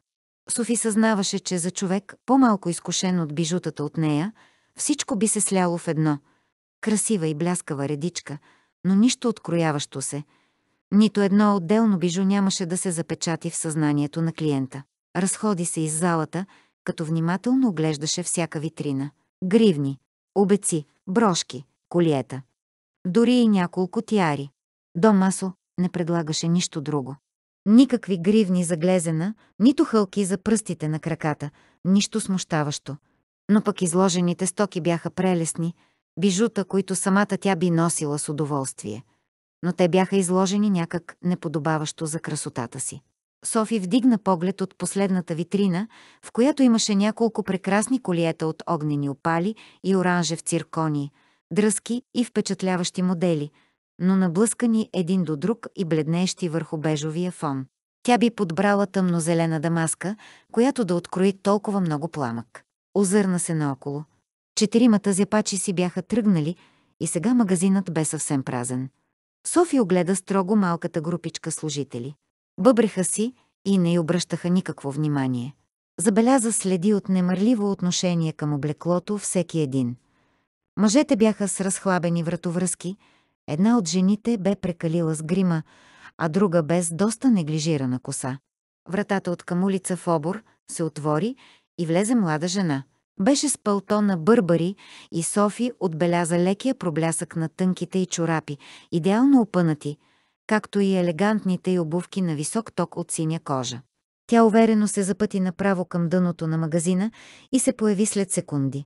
София видя да приближава до останалите служители, рязко, но тихо да им казва нещо, като кимна към нея. Първото момиче й отвърна. Явно доста грубо, съдейки по маниерите й. Младата жена приглади роклята си и побърза да се приближи до Софи. Беше брюнетка и по-млада от останалите. Софи прецени, че е около 23 годишна. Носеше не особено скъпа, но прилична синя рокля, скромна права кройка, семпла жилетка и съвсем лек грим. Долови уханието на Шанел 5. Простете, мадам, усмихна се ведро жената. Нуждаете ли се от асистент? Софи поклати глава. Не идвате ли малко късно на работа? Забеляза, че въпросът я подразни – но само след секунда служителката се окопити и отвърна с любезен тон. Да, мадам, искрено се извинявам. Имаше инцидент в метрото и влакът закъсня. Имате пълно право, естествено, служителите трябва да са тук абсолютно на време, преди да влязат клиентите. Софи се усмихна сърдечно. Обноските на девойката, както и външният и вид бяха на светлинни години от тези на колегите й.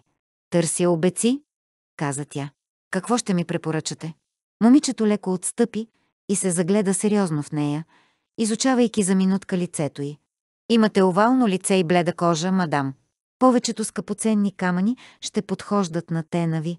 Определено можете да носите по-дълги обеци и бих ви препоръчала именно такива за вечерен туалет. Имаме няколко прекрасни модела, които смятам, че ще ви подхождат. Но не всичко, което предлагаме, би ви стояло толкова добре. Някои от подръзките модели, които смесват основните цветове, няма да са в стила ви според мен. Бихте ли ми ги показали? С равен глас помоли Софи. Момичето я заведе до витрината с обеците, отвори я и извади 5-6 бижута, които и самата Софи би предпочела, бледосини сапфири. Капчици от чисто злато, дълги висулки от овални изумруди и перидот, ъгловати форми от седев. Изложи ги пред нея с истинска почтителност, описвайки камъните и майсторската изработка. Много са хубави, но не смятам, че са за мен, каза Софи. Ако проблемът е в бюджета, мадам, мога да ви предложа други модели, изработени с различни камъни, но пак ще ви стоят прекрасно. Днес не съм в настроение за пазаруване, каза скромно Софи. Любезността на момичето не помръкна и за миг. Много добре, мадам, Надявам се, че ще се върнете скоро и ще ми позволите да ви покажа още от нашите модели. За мен беше удоволствие да ви обслужа. Софи погледна колегите й. Бяха се облегнали на стената и я наблюдаваха развеселени и с леко отекчено изражение. Благодаря ви, госпожице. Бяхте изключително мила. Обърна се тя към нея. Кажете ми, отдавна ли работите за дом Масо? Не, мадам. Само от 6 месеца. Явно високо цените бижутата. Как се казвате? Клодет, мадам. Да, обичам бижута. Разпалено отвърна младата жена. Това е изключително красиво изкуство, което е застрашено от забрава сред бляскавите модерни неща. Софи въздъхна от удоволствие. Поне щеше да има откъде да започне. Клодет, каза тя, повишавам те в управител на този магазин. Аз съм Софи Масо, председател на борда на директорите на Дом Масо. Очите на Клодет се разшириха от изумление, но бе прекалено шокиранът, за да каже нещо. Каква е заплатата ти в момента? 18 000 евро, мадам, прошепна Клодет. Само толкова. Нищо чудно, че не могат да привлекат добър персонал. Помисли си Софи.